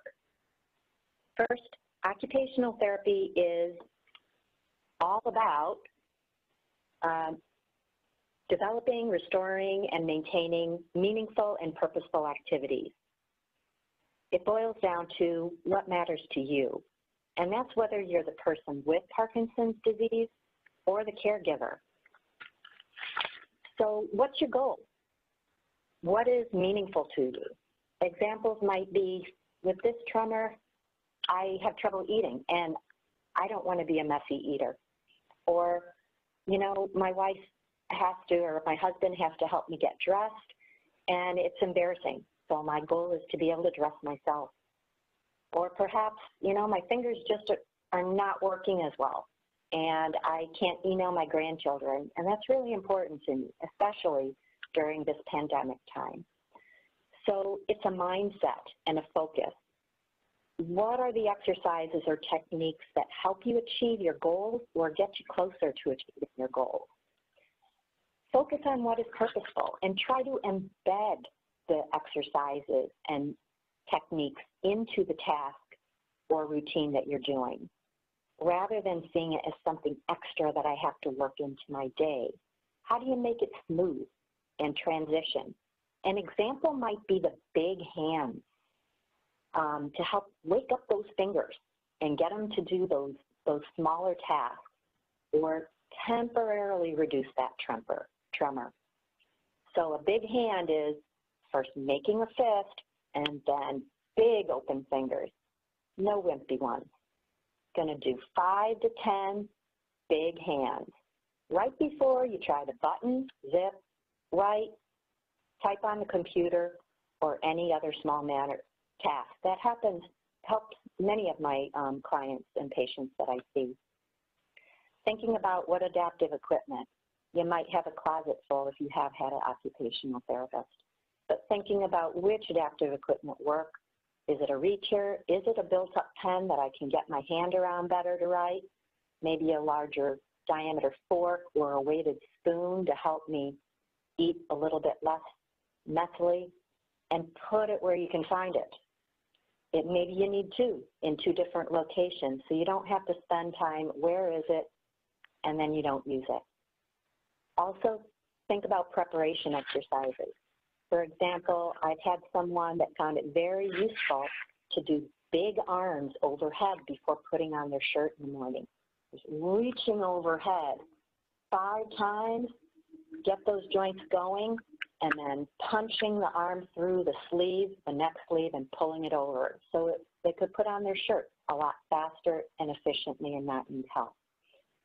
Um, maybe verbalizing. Maybe you need to verbalize those steps. Punch right, punch left, overhead to generate that energy to get that shirt on or whatever task you're going to do. What exercise helps you do it? And organizing. Another example is someone who, you know, I get up earlier than my spouse and I want to make my coffee right first thing in the morning. I don't want to have to wait. But they were having trouble getting the parts together. So labeling the coffee maker with color codes or maybe numbers to get the right sequence and help, and perhaps even setting out the supplies in order and leaving them there so it doesn't take so much time and effort. And then thinking about structure because you're important and it's time to make time, you know, so make time for yourself. Put some structure in your day, organize a little bit. Because the truth is, organized people do get more done. Routine and habit free up time and energy. And if you have that extra time and energy, you can do what matters to you. It's easier to recharge that energy battery if you take frequent short breaks rather than get to empty and be down for the count for the rest of the day. And apply those principles throughout the week. If it's, I had a good day, so I did all of this stuff, guess what? You're going to pay for it the next day or two. So pace those bigger activities, not just today I feel good, so I'm going for it. Plan it and work it into your schedule. So thank you for listening, and I hope you did find some of these strategies helpful for you so that you can do what matters to you. Hi, my name is Akila Townsend, and I'm just going to go over some rehabilitation strategies at the home and ways to optimize those strategies for in the home. Oops. So for today's agenda, um, we are going to review briefly um, non-motor symptoms, go over some mindfulness ideas, and then review motor symptoms again and review some exercises and its relation to Parkinson's. some of the non-symptoms of, of the non-motor symptoms of Parkinson's disease are lifted or listed above. Um, we often focus on Parkinson's disease, their motor symptoms, and though this disease does affect movement, there are some non-motor symptoms.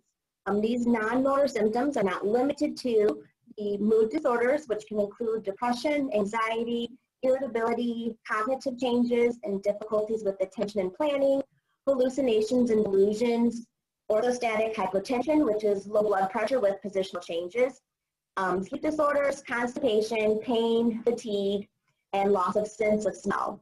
Um, all these can play a role on disease management and the effects on quality of life. So today I wanted to briefly shed light on mindfulness as a method of managing the anxiety, so some of those mood disorders. Um, mindfulness would be defined as um, where one focuses on being intensely aware of what they are sensing and feeling in the moment without interpretation or judgment. Um, and so um, you are, it's reported that actually as many as, as many as two out of five people with Parkinson's disease will experience some form of anxiety, um, whether it's generalized anxiety or anxiety attacks or social avoidance. Um, being at home more because of COVID-19 may further exacerbate the occurrence of such anxiety issues. Um, and so mindfulness um, is intervention that can actually aid in reducing anxiety by providing skills to cope with stressful situations caused by physical, emotional, and psychological triggers. So simply put, you want to be able to be present and aware of where you are and what you're doing. Um, so during this time, it can be a little a little difficult to stay positive during this time with like the politics and the social unrest.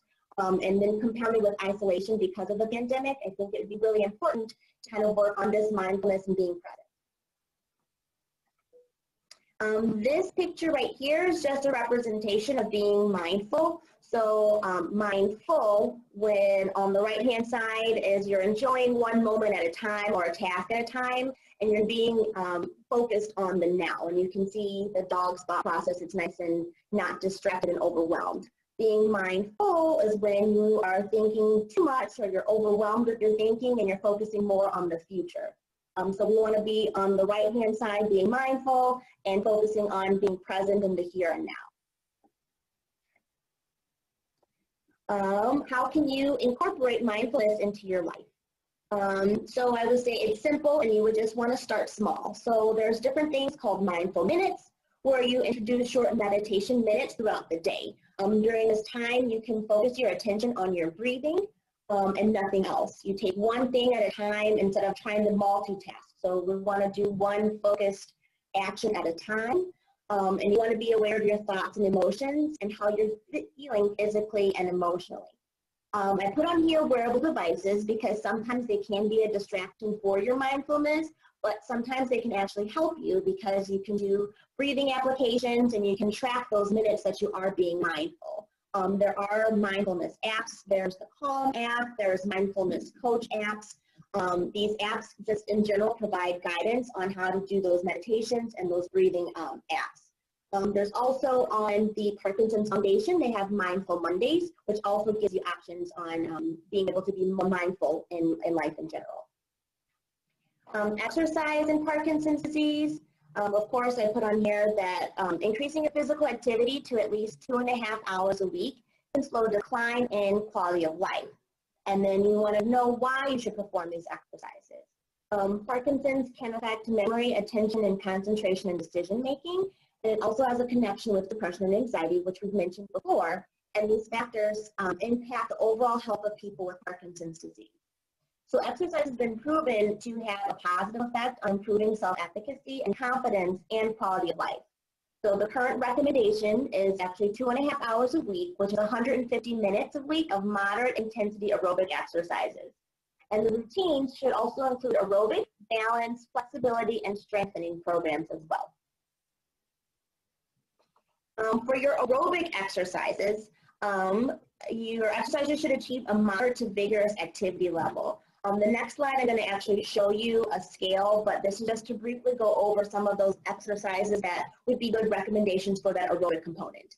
um, things that we need to look out for when we're doing aerobic exercise. And when I say aerobic, we're kind of getting that heart rate up and we're breathing hard, we're kind of getting a little sweaty there. That's where we're, that's the target that we're going for. But some things we need to look out for um, are orthostatic hypotension, um, medications, as um, certain medications uh, may require that there's a certain time frame before we can um, begin exercises, whether it be like 20 minutes or 30 minutes.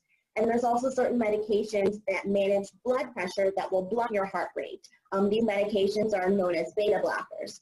Um, other precautions we need to be aware of also are cardiovascular um, comorbidities. So examples of aerobic exercise are jogging, walking, swimming, biking, fast-paced walking, and hiking.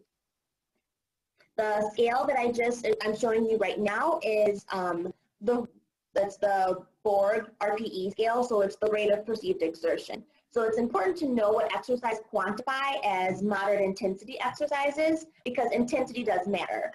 Um, and so people with Parkinson's are able to, we want to be able to have you guys monitor your intensity level either based on the heart rate calculations or by using this scale here. Um, so again, like I said before, certain medications may blunt your heart rate, and so calculations using your heart rate are not going to be. So based on this scale, which is from 6 to 20, um, the blue is going to be that we are doing little to no effort. That's not the zone that we want to be in. Um, the green zone is the zone that we want to be in, which is between 12 and 16 out of 20. Um, and this is how you should deal with your exercises. So the wordage they use is somewhat hard or hard exercises. The red is what we don't want to be in as well. And this is you know, feeling like you working your hardest ever. Um, and this is a zone that we also don't want to be in. Um, the strengthening exercises, the recommendation is to continue, uh, perform those two to three times a week. Um, as we also noticed that weakness can be noted in um, patients with Parkinson's. So um, precautions need to be taken when beginning strengthening programs. And so for recommendations on weight, on form, and repetitions, those are things we need to be aware of. And so seeing a physical therapist can help address this. Um, examples of some simple exercises to improve strength that do not include equipment are sit-to stands, heel raises, being able to do step-ups. Um, your strengthening program should address lower extremity, upper extremity, and core and trunk strength. Exercises, of course, can be done in sitting, standing, and laying down depending on your abilities. Um, our flexibility exercises, they should be performed three to four times a week, um, but daily is of course better. Stretches should be held between um, 10 to 30 seconds and performed three to four repetitions each stretch for improved flexibility. Um, and we always see a correlation with flexibility, improved flexibility with balance, bed mobility, and with turning. Um, again, these flexibility exercises should incorporate chest wall stretches, your shoulder stretches, hamstrings, calves, low back, and neck. Um, and posture is also important, so stretching of the trunk and the shoulders is one of the reasons why those are important. Um, balance exercise the other component of those for the uh, touch. These examples are amplitude-based approaches. So you may have heard of LSVT, big movements, um, power moves, dancing, rock steady boxing, Tai Chi, and yoga. All of these are good examples on how to um, incorporate balance into your daily life. So um, in order to prevent or reduce fall risk, as Parkinson's um, people are often two times as likely to fall compared to older populations, it's important to kind of address this during your exercise routine. Um, impairments in balance can be detected in early stages of Parkinson's. So of course, the earlier the better that we are incorporating these balance exercises into your routine, the better.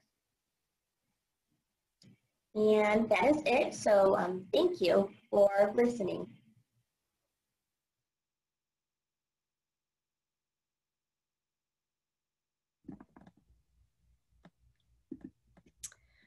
And thank you so much to the rehab team. Our final speaker this morning is Charlinda Brashear. Charlinda is a licensed clinical social worker who has spent her professional life working with adult and geriatric populations in a medical setting. She has worked as a hospital social worker at Northwestern for over four years before joining the Parkinson's disease and movement disorders team in January of this year. Hello, everyone. My name is Charlinda, and I'm a licensed clinical social worker with the Parkinson's Disease and Movement Disorders program here at Northwestern. As a regular part of my job, I have the privilege of providing psychotherapy and counseling for patients in our downtown clinic and other locations through telehealth.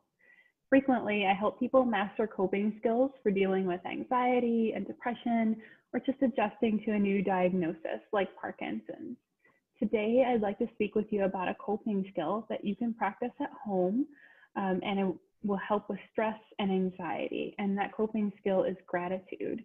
Studies have found that a regular, deliberate gratitude practice can be very helpful with anxiety, depressive feelings, and just managing stressors. So that is the topic of today's presentation. So now that I'm sharing my screen, I'd like to show you. Um, today's presentation is titled The Importance of Practicing Gratitude During and Beyond Times of Crisis. And the current pandemic um, is definitely something that counts as a crisis. It's caused an unprecedented disruption in our daily lives. Many people are feeling even more isolated. And that's important because if you have a movement disorder such as Parkinson's, you may already have some mobility challenges. And something like the COVID crisis can cause you to maybe feel more isolated. Um, things that you used to do might be closed or they've gone virtual, and, and particularly if you have any trouble with the technology. So it is important during times of crisis in particular to use coping skills to help keep your mental health the best that it can be. And also, even during times when it's not necessarily a crisis, I think paying attention to our mental health and instituting a practice like gratitude can still be very helpful um, and has a lot of benefits. It's a form of self care that helps us focus on the positive aspects of daily life which is really important in reducing stress and also getting better sleep and just staying healthier in general.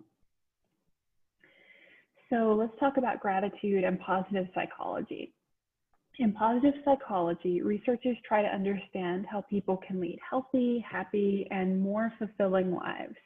Um, in other words, doing things that they want to do and, and being truly fulfilled, um, having a, a sense of purpose. And positive psychology has also long recognized that a daily gratitude practice is a way to boost happiness and well being. And I think that's key to talk about is um, frequently, consistently, you know, daily is ideal, and also deliberately, meaning taking time to really truly think about those things that we're grateful for. Um, with intention, um, meaning meaning on on purpose or in a deliberate way. Um, and research indicates that those who practice that have lower self-reported levels of depression and anxiety um, when they're using scales like the, the PHQ-9 or the GAD-7, um, those self-report scales for depressive and anxious feelings. Um, patients that are regularly practicing gratitude tend to report lower levels of depression and anxiety. Um, additional research also indicates that practicing gratitude can have a positive impact on your physical health as well as your mental health. And we'll talk about that next. So there was a study um, in 2015 on um, patients that had uh, asymptomatic heart failure and were practicing gratitude. Um, and that study found that uh, gratitude not only helps improve how we feel, but it also can help have a healthier heart. Um, it was also associated with improved sleep and less fatigue. So per the study, um, patients that were giving uh, thanks for positive aspects of life um, did have these improved outcomes. And I'd like to read you this quote. We found that more gratitude in these patients was associated with better mood, better sleep, less fatigue, and lower levels of inflammatory biomarkers related to cardiac health. So as you can see, this has been studied not only from the perspective of psychologically having benefits, uh, but also physically even, um, lowering stress, lowering cortisol, lowering biomarkers for um, heart health um, has been shown with a daily gratitude practice. Um, so let's talk about this. How can we practice gratitude? How can you incorporate this into your life?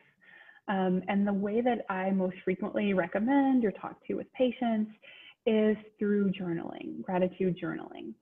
And now what that can mean for someone with Parkinson's, you know, maybe you have a hand tremor or it's just more challenging for you to physically put pen to paper. Um, that doesn't mean that you can't participate in this as well. You absolutely can. Um, there are apps. Um, some people use their computer, their phone. Um, some people dictate to their phone um, and, and make a little daily um, gratitude list or reminder. So the important way, the important thing rather, is not the medium or, or, exactly how you're doing it. It's more important to be consistent and intentional with the practice than it is whether you're writing in a physical journal or using um, your laptop or your smartphone.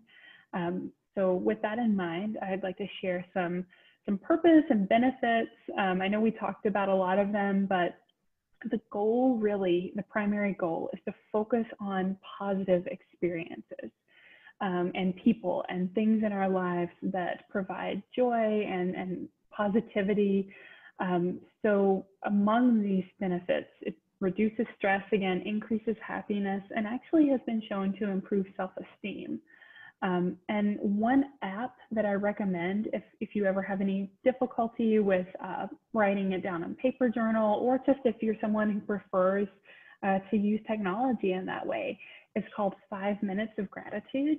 It's free, it's available on the App Store, um, the Apple App Store if you happen to have an iPhone, um, and it's in list format. So um, if writing is an issue, um, you can easily type on your phone or more easily, I should say.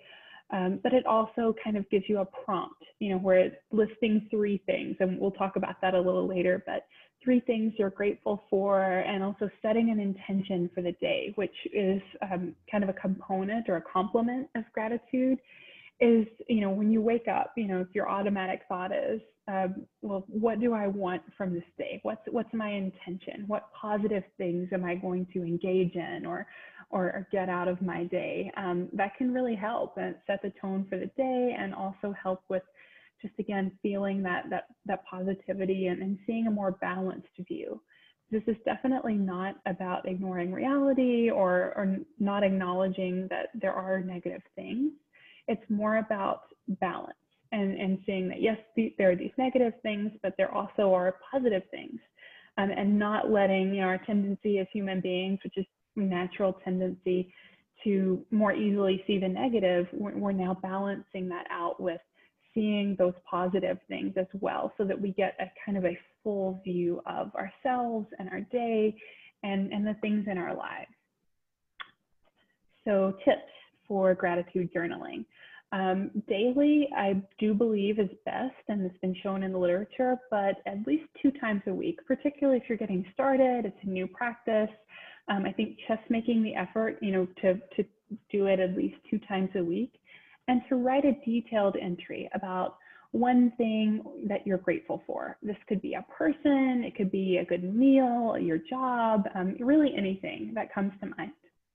And that's where it's so individual and so personal. You know, something that I'm grateful for might not be something that you're grateful for. So this is again something that you take deliberate time to practice and to really think about in your life what are those positive things what are those things that keep you going that you're grateful for and, and that you enjoy um, and also not rushing to write down the first thing that comes to your mind to kind of get it done for the day but really spending some time you know, they this average, you know, 10 to 20 minutes, um, just thinking about um, and really explaining in detail what it is that you're grateful for.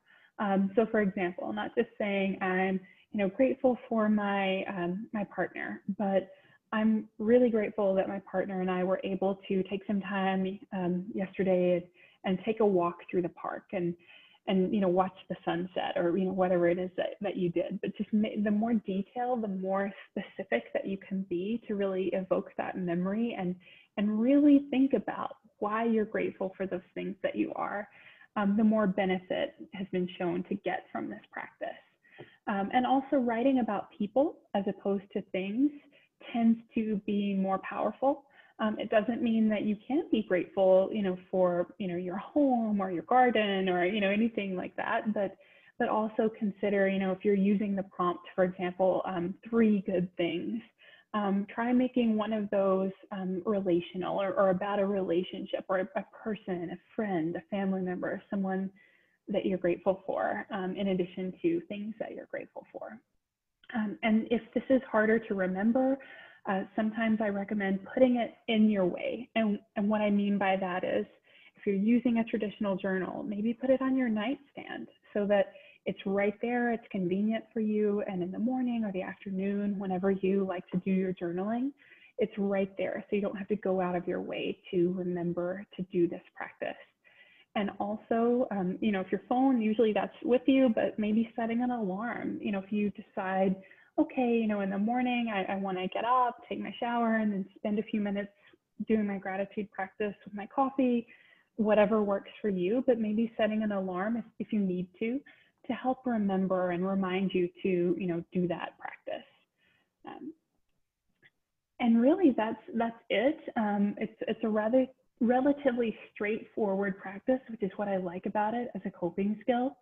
Um, it's not really expensive to start. You don't have to go out and buy a fancy journal um, or a phone. Um, you know, you can use whatever tools are available. Really, what matters is being consistent and deliberate. So again, just making sure that you're regular about doing a gratitude practice and also that you really take time to think about what you're grateful for and balance um, any negativity, you know, from the news, from, you know, 2020, COVID, anything like that. Try and balance that with also seeing the positive and, and to get that full view and, and to help keep your mental health, you know, in the best um, frame that it can be. Um, so thank you for listening. And if you want more resources on this, um, I've referenced the article about um, heart health and uh, gratitude practice, but also therapistaid.com. They have some really great worksheets there free of charge. And they're kind of like writing prompts for the gratitude practice. So um, the app is also free, um, and there's a paid version with a few extra features, but I, I don't think those are necessary. Again, I think this is something that it's simple, but it's powerful. And just getting started, you know, realizing there's not a wrong way to do this. If you're setting an intention and you're willing to just think daily about the things that you're grateful for, then I think that you'll get um, something out of this that's going to be positive. So thank you very much for your time today. And um, please let me know if you have any questions at all. Thank you.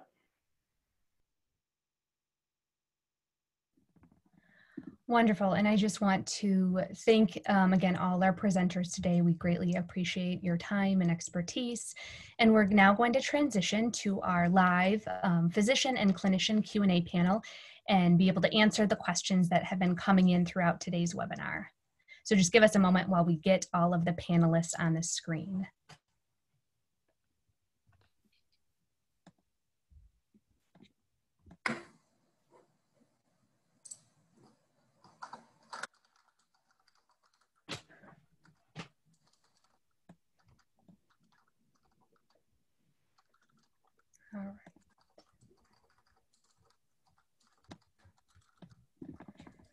So I'm going to start today's Q&A panel by, again, introducing our panelists. So we have um, Dr. Danny Bega, Dr. Ray Dorsey, and Sherlinda Brashear, whom you heard give presentations already this morning.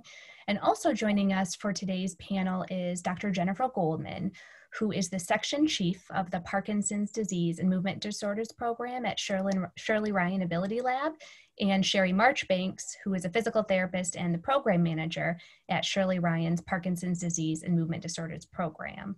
So I'm going to begin by asking the questions that have been coming in throughout the presentation. Uh, we're going to answer as many as we can. We have a lot of questions, so I think unfortunately we're not going to be able to get to all.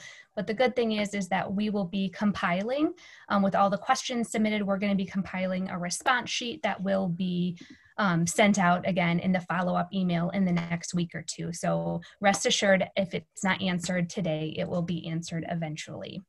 So with that, let's get started with some questions.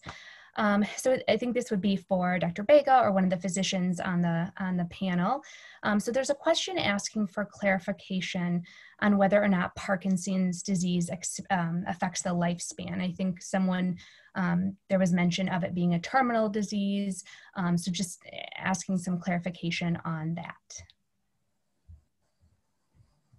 So uh, I think uh, that was brought up in one of the talks. Um, Parkinson's disease is a it's a disease of aging, and so as people get older, we see uh, we know that obviously there's uh, at some point people die as they get older, and Parkinson's disease progresses as you get older.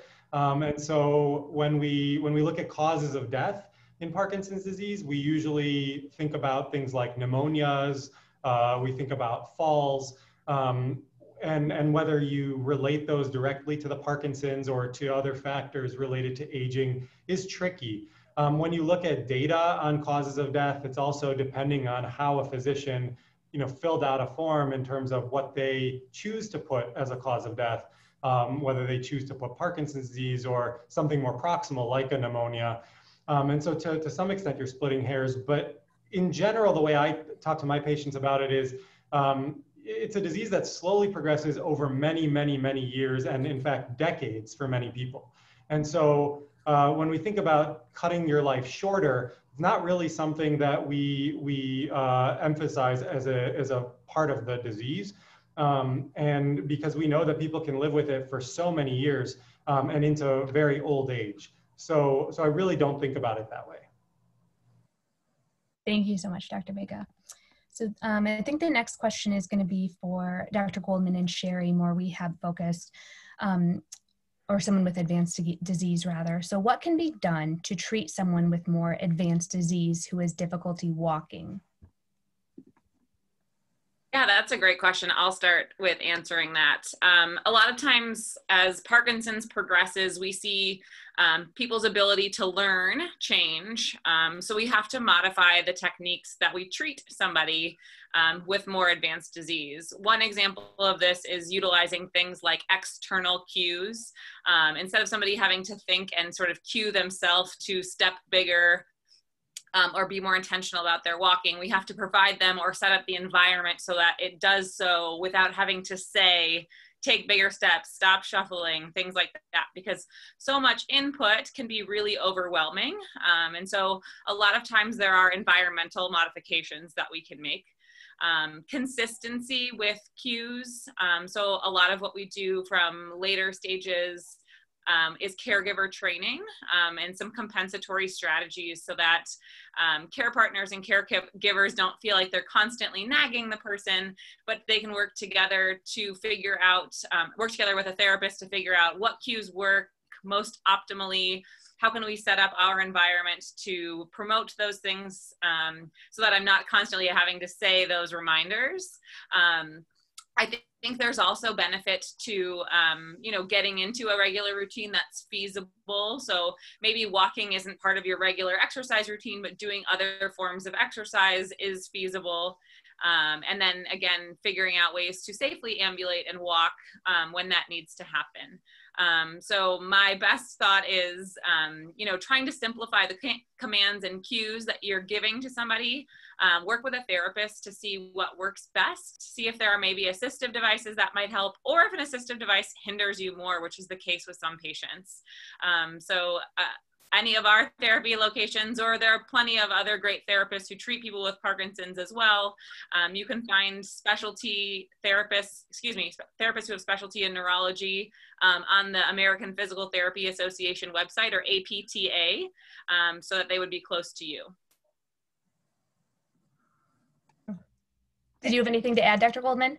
Sure, thanks so much. And uh, thanks, Sherry, for your really thorough answer. Um, and I, I would just add that it's so important to assess rehabilitation strategies over the course of Parkinson's from early to advanced stages. And there is always something that can be done. It may look different at different stages from early to later stages, but really working with the rehabilitation team can help identify what those strategies might be for you as the individual person living with Parkinson's and your care partner.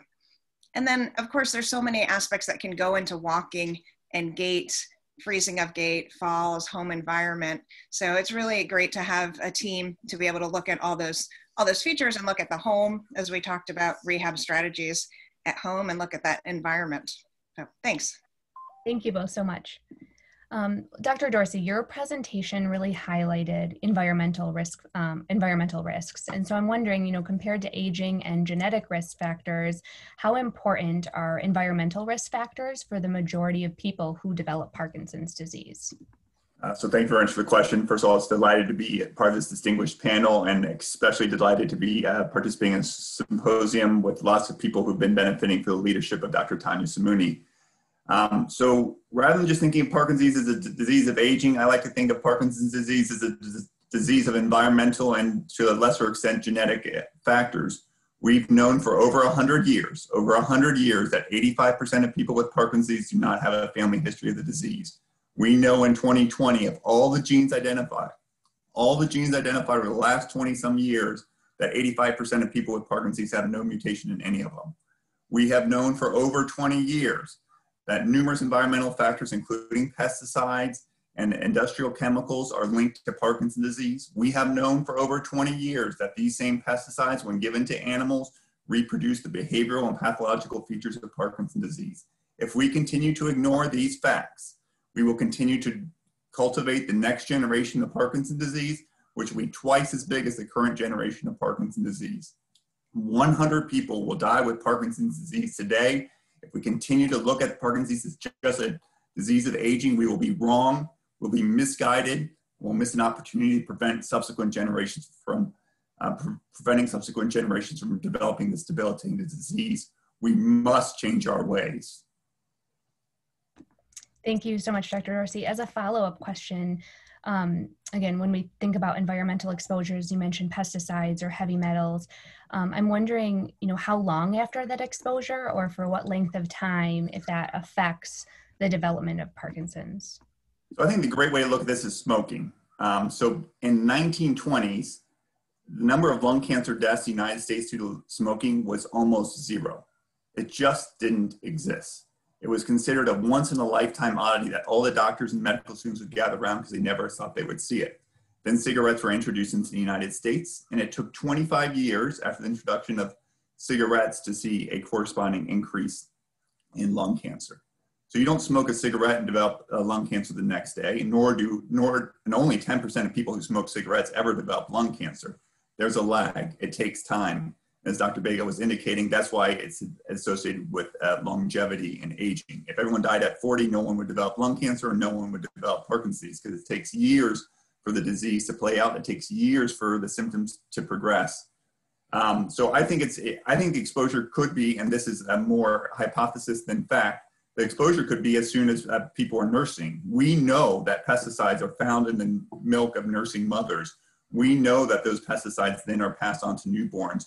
We know that newborns have a developing and growing brain. We know that newborns and uh, uh, have less protective mechanisms. My suspicion is that many people gather these exposures early in their life, probably through uh, early adulthood and, and possibly beyond, and that years of exposure uh, to these pesticides or industrial chemicals from occupational exposure or from contaminated groundwater that's happening in DuPage, that happened in DuPage County, you know, where some of your individuals are residing uh, will then manifest themselves out years or decades later.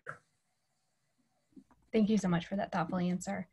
Um, so this is more about um, symptomatic uh, medications or management. So I would pose this, um, you know, to the physicians on the call. So if a person on levodopa develops mild dyskinesia, can these movements go away with a decrease in levodopa? Or what are some other ways of addressing dyskinesias? I'm happy to take that. Um, so dyskinesias uh, certainly would be reduced by lowering of carbidopa levodopa. Uh, however, that's not uh, necessarily uh, the way we would approach it for, for most patients because the levodopa that we use is, is uh, helpful for treating most of the motor problems related to Parkinson's disease.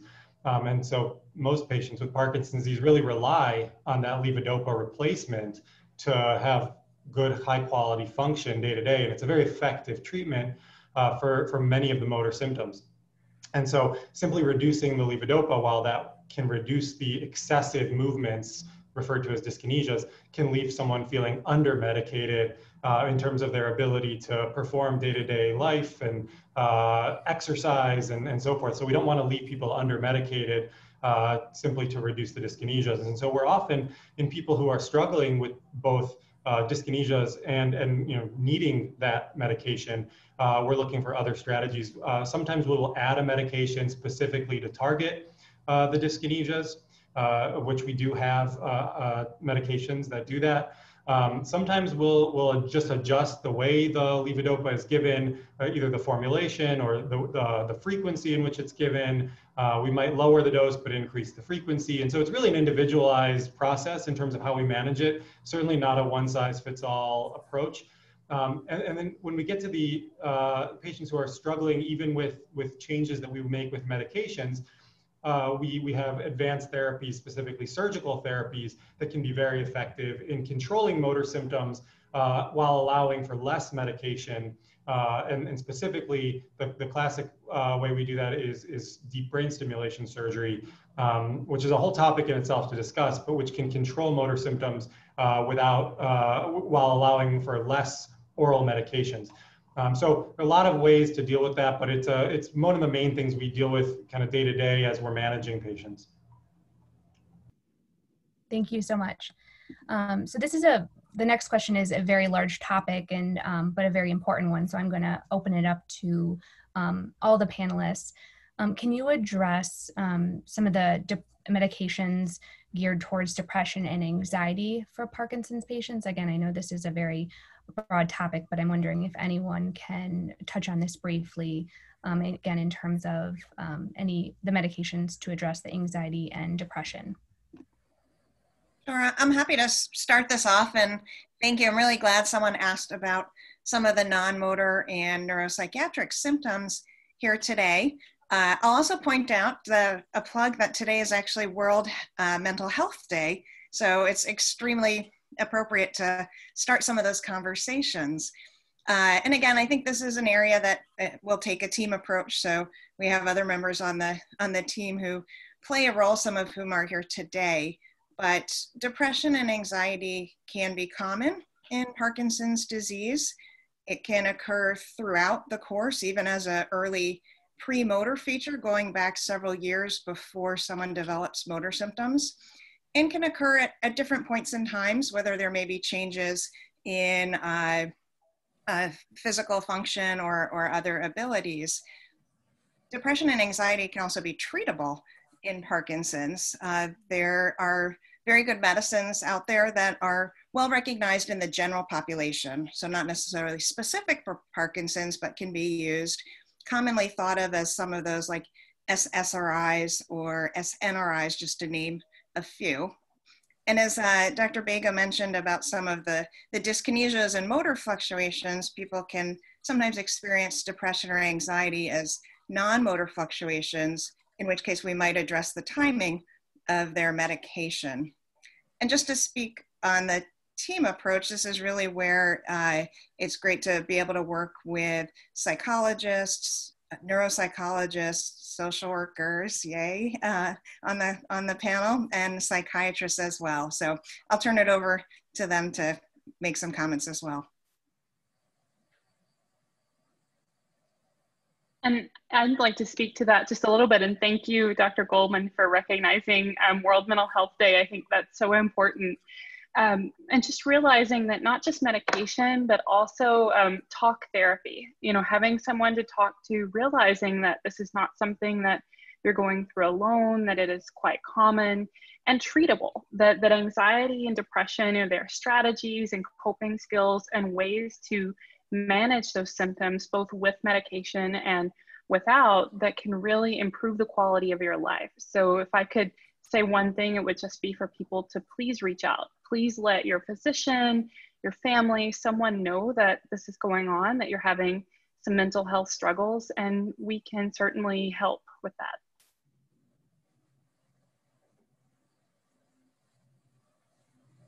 Thank you so much. As a quick follow-up question, because we know that apathy is often a common non-motor symptom too, is there a specific medication or way to address that specific symptom of apathy, or would the medications um, that commonly depress, uh, address rather the depression and anxiety um, also be the ones to address apathy?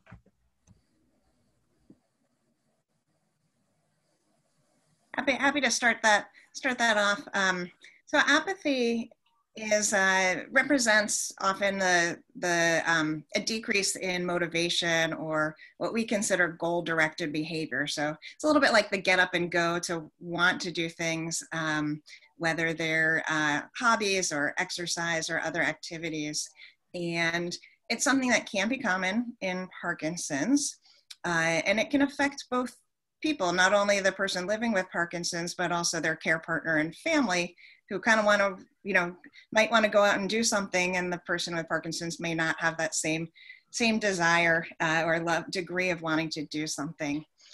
Uh, apathy can be a bit tricky to treat and represents an area where we certainly need better medications and better understanding and better therapies. But there are a number of medicines that can be considered as we think about apathy. Um, some of those might fall in dopaminergic classes of medicines. Some of those might fall in antidepressants that we just spoke about a little earlier. And then some of those may also fall into some of the cognitive medicines that we, we consider. And then uh, it depends on what, what else might be going on with that particular person. But there are also strategies working with, uh, I think, our social work team, psychology, rehab professionals, including occupational therapy, to, to come up with strategies to, to cope with this and to plan and to look at energy um, conservation and fatigue and when to do activities when people are at their best. Wonderful. Thank you so much. Um, I appreciate that there's no um, like dietitians or nutritionists on the call, but one question is, are there any benefits to whole food plant-based eating or any other specific diets um, for Parkinson's disease? Um, I can start. I don't know if Dr. Uh, Dorsey wants to comment from a uh, standpoint of um, kind of environmental issues, but the uh, unfortunately, there aren't good diet studies uh, done uh, in Parkinson's disease. It's difficult to do studies of diet because it's hard to control a lot of the factors related to diet when you're doing a good high quality study. But what we what we know is uh, it's probably not a good idea to have a very a diet that's all of one kind of thing or all of another kind of thing. And, and you know, a well-balanced healthy diet is, is, is, is important, but some of the things that are particularly useful to pay attention to in a diet is, is thinking about what's healthy for the brain. Um, and a lot of this we learn from animal models of Parkinson's disease is that things like antioxidants, things that are, are anti-inflammatory could be protective in the brain. Um, and uh, examples of that would be things like omega-3 fatty acids, things that have a lot of uh, antioxidants, things like colorful fruits and vegetables.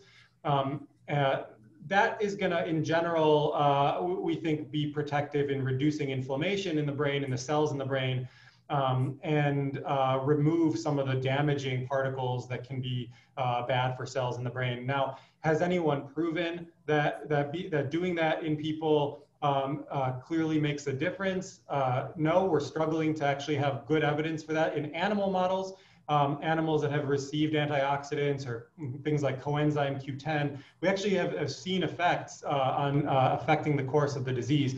But in humans, uh, we haven't seen those specific outcomes.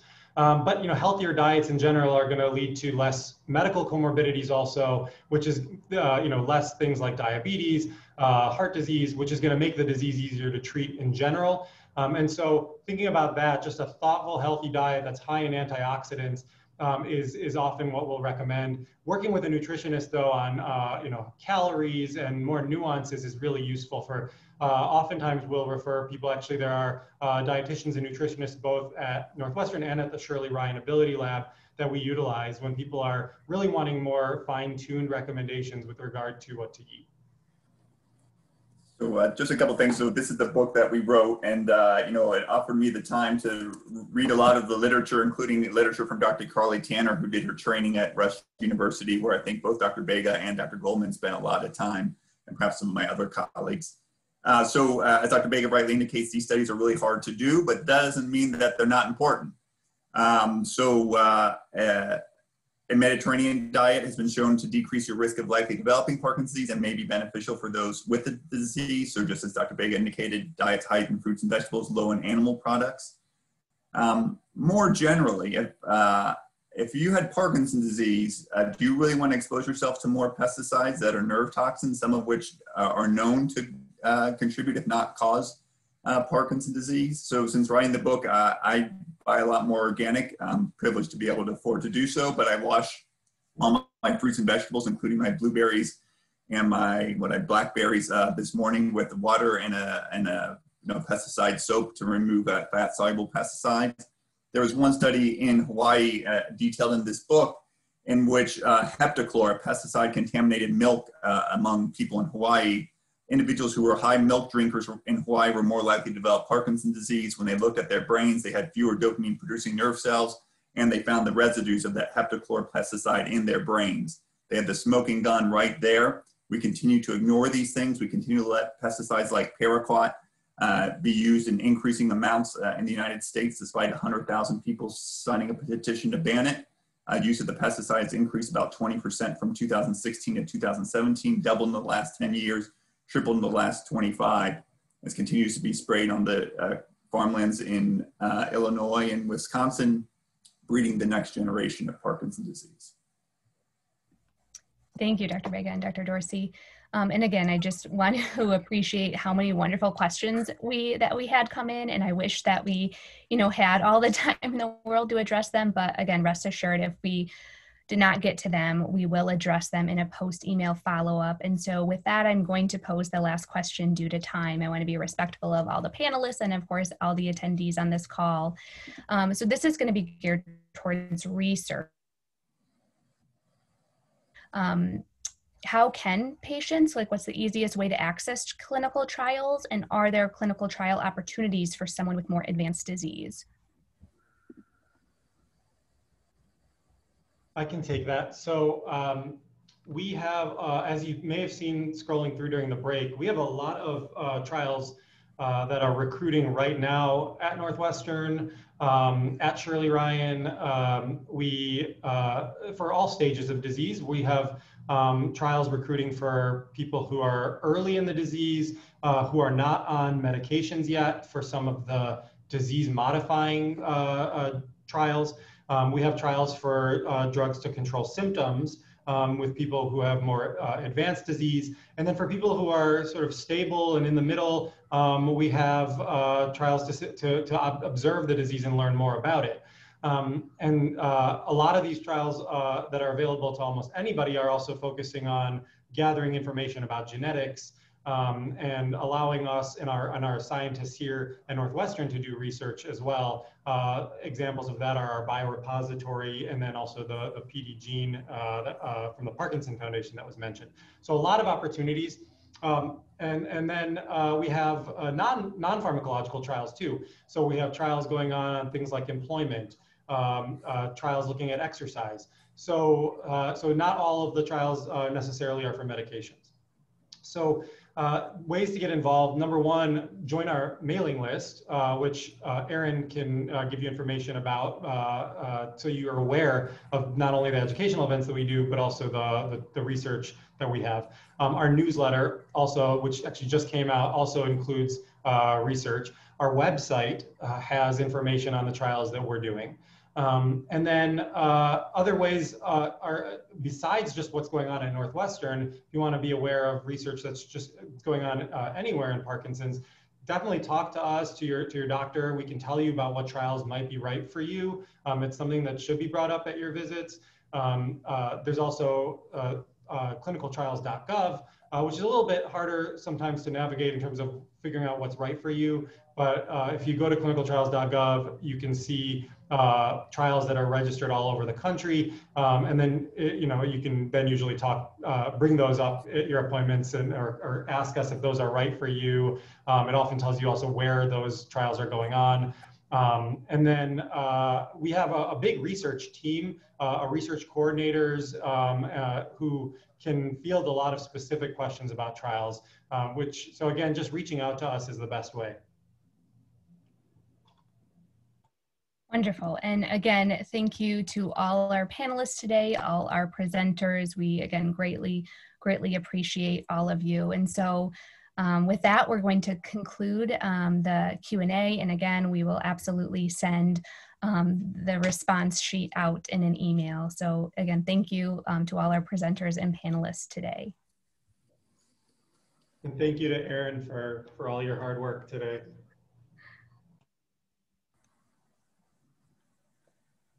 So as the panelists sign off, um, I will close out the program in a moment.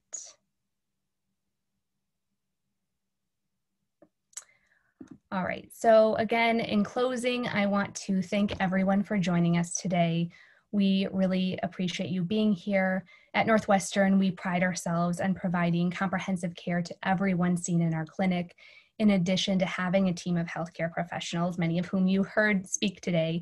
Our Parkinson's Disease and Movement Disorders Center offers several support groups and classes to further support your well-being. Um, Dr. Bega mentioned them briefly in his intro. So these groups and classes include a Parkinson's, a general Parkinson's disease group, a women and Parkinson's group, a young onset PD group, a group for caregivers, a live virtual yoga class, and PD 101. Um, and again, these are all virtual right now. Um, and as we look ahead to 2021, we really hope to continue adding innovative and supportive programs to our existing offerings. As a reminder, the recording of today's symposium, along with any resources we discussed, including my contact information, will be sent to attendees in a follow-up email within the next week or so. So that way you can reach out to me via email with any questions and of course sign up for our groups and classes. Um, I want to thank you to all our presenters and panelists again for sharing your time and expertise with us. And thank you to our sponsors, Abbott, Medtronic, Supernus, Sunovion, Kyowa Kirin, Adamas, Boston Scientific, Lundbeck, and Amneal. And a huge, huge shout out to the Parkinson's Foundation for co-hosting this event. And with that, I want to thank you again for joining us, and we really hope to see you soon.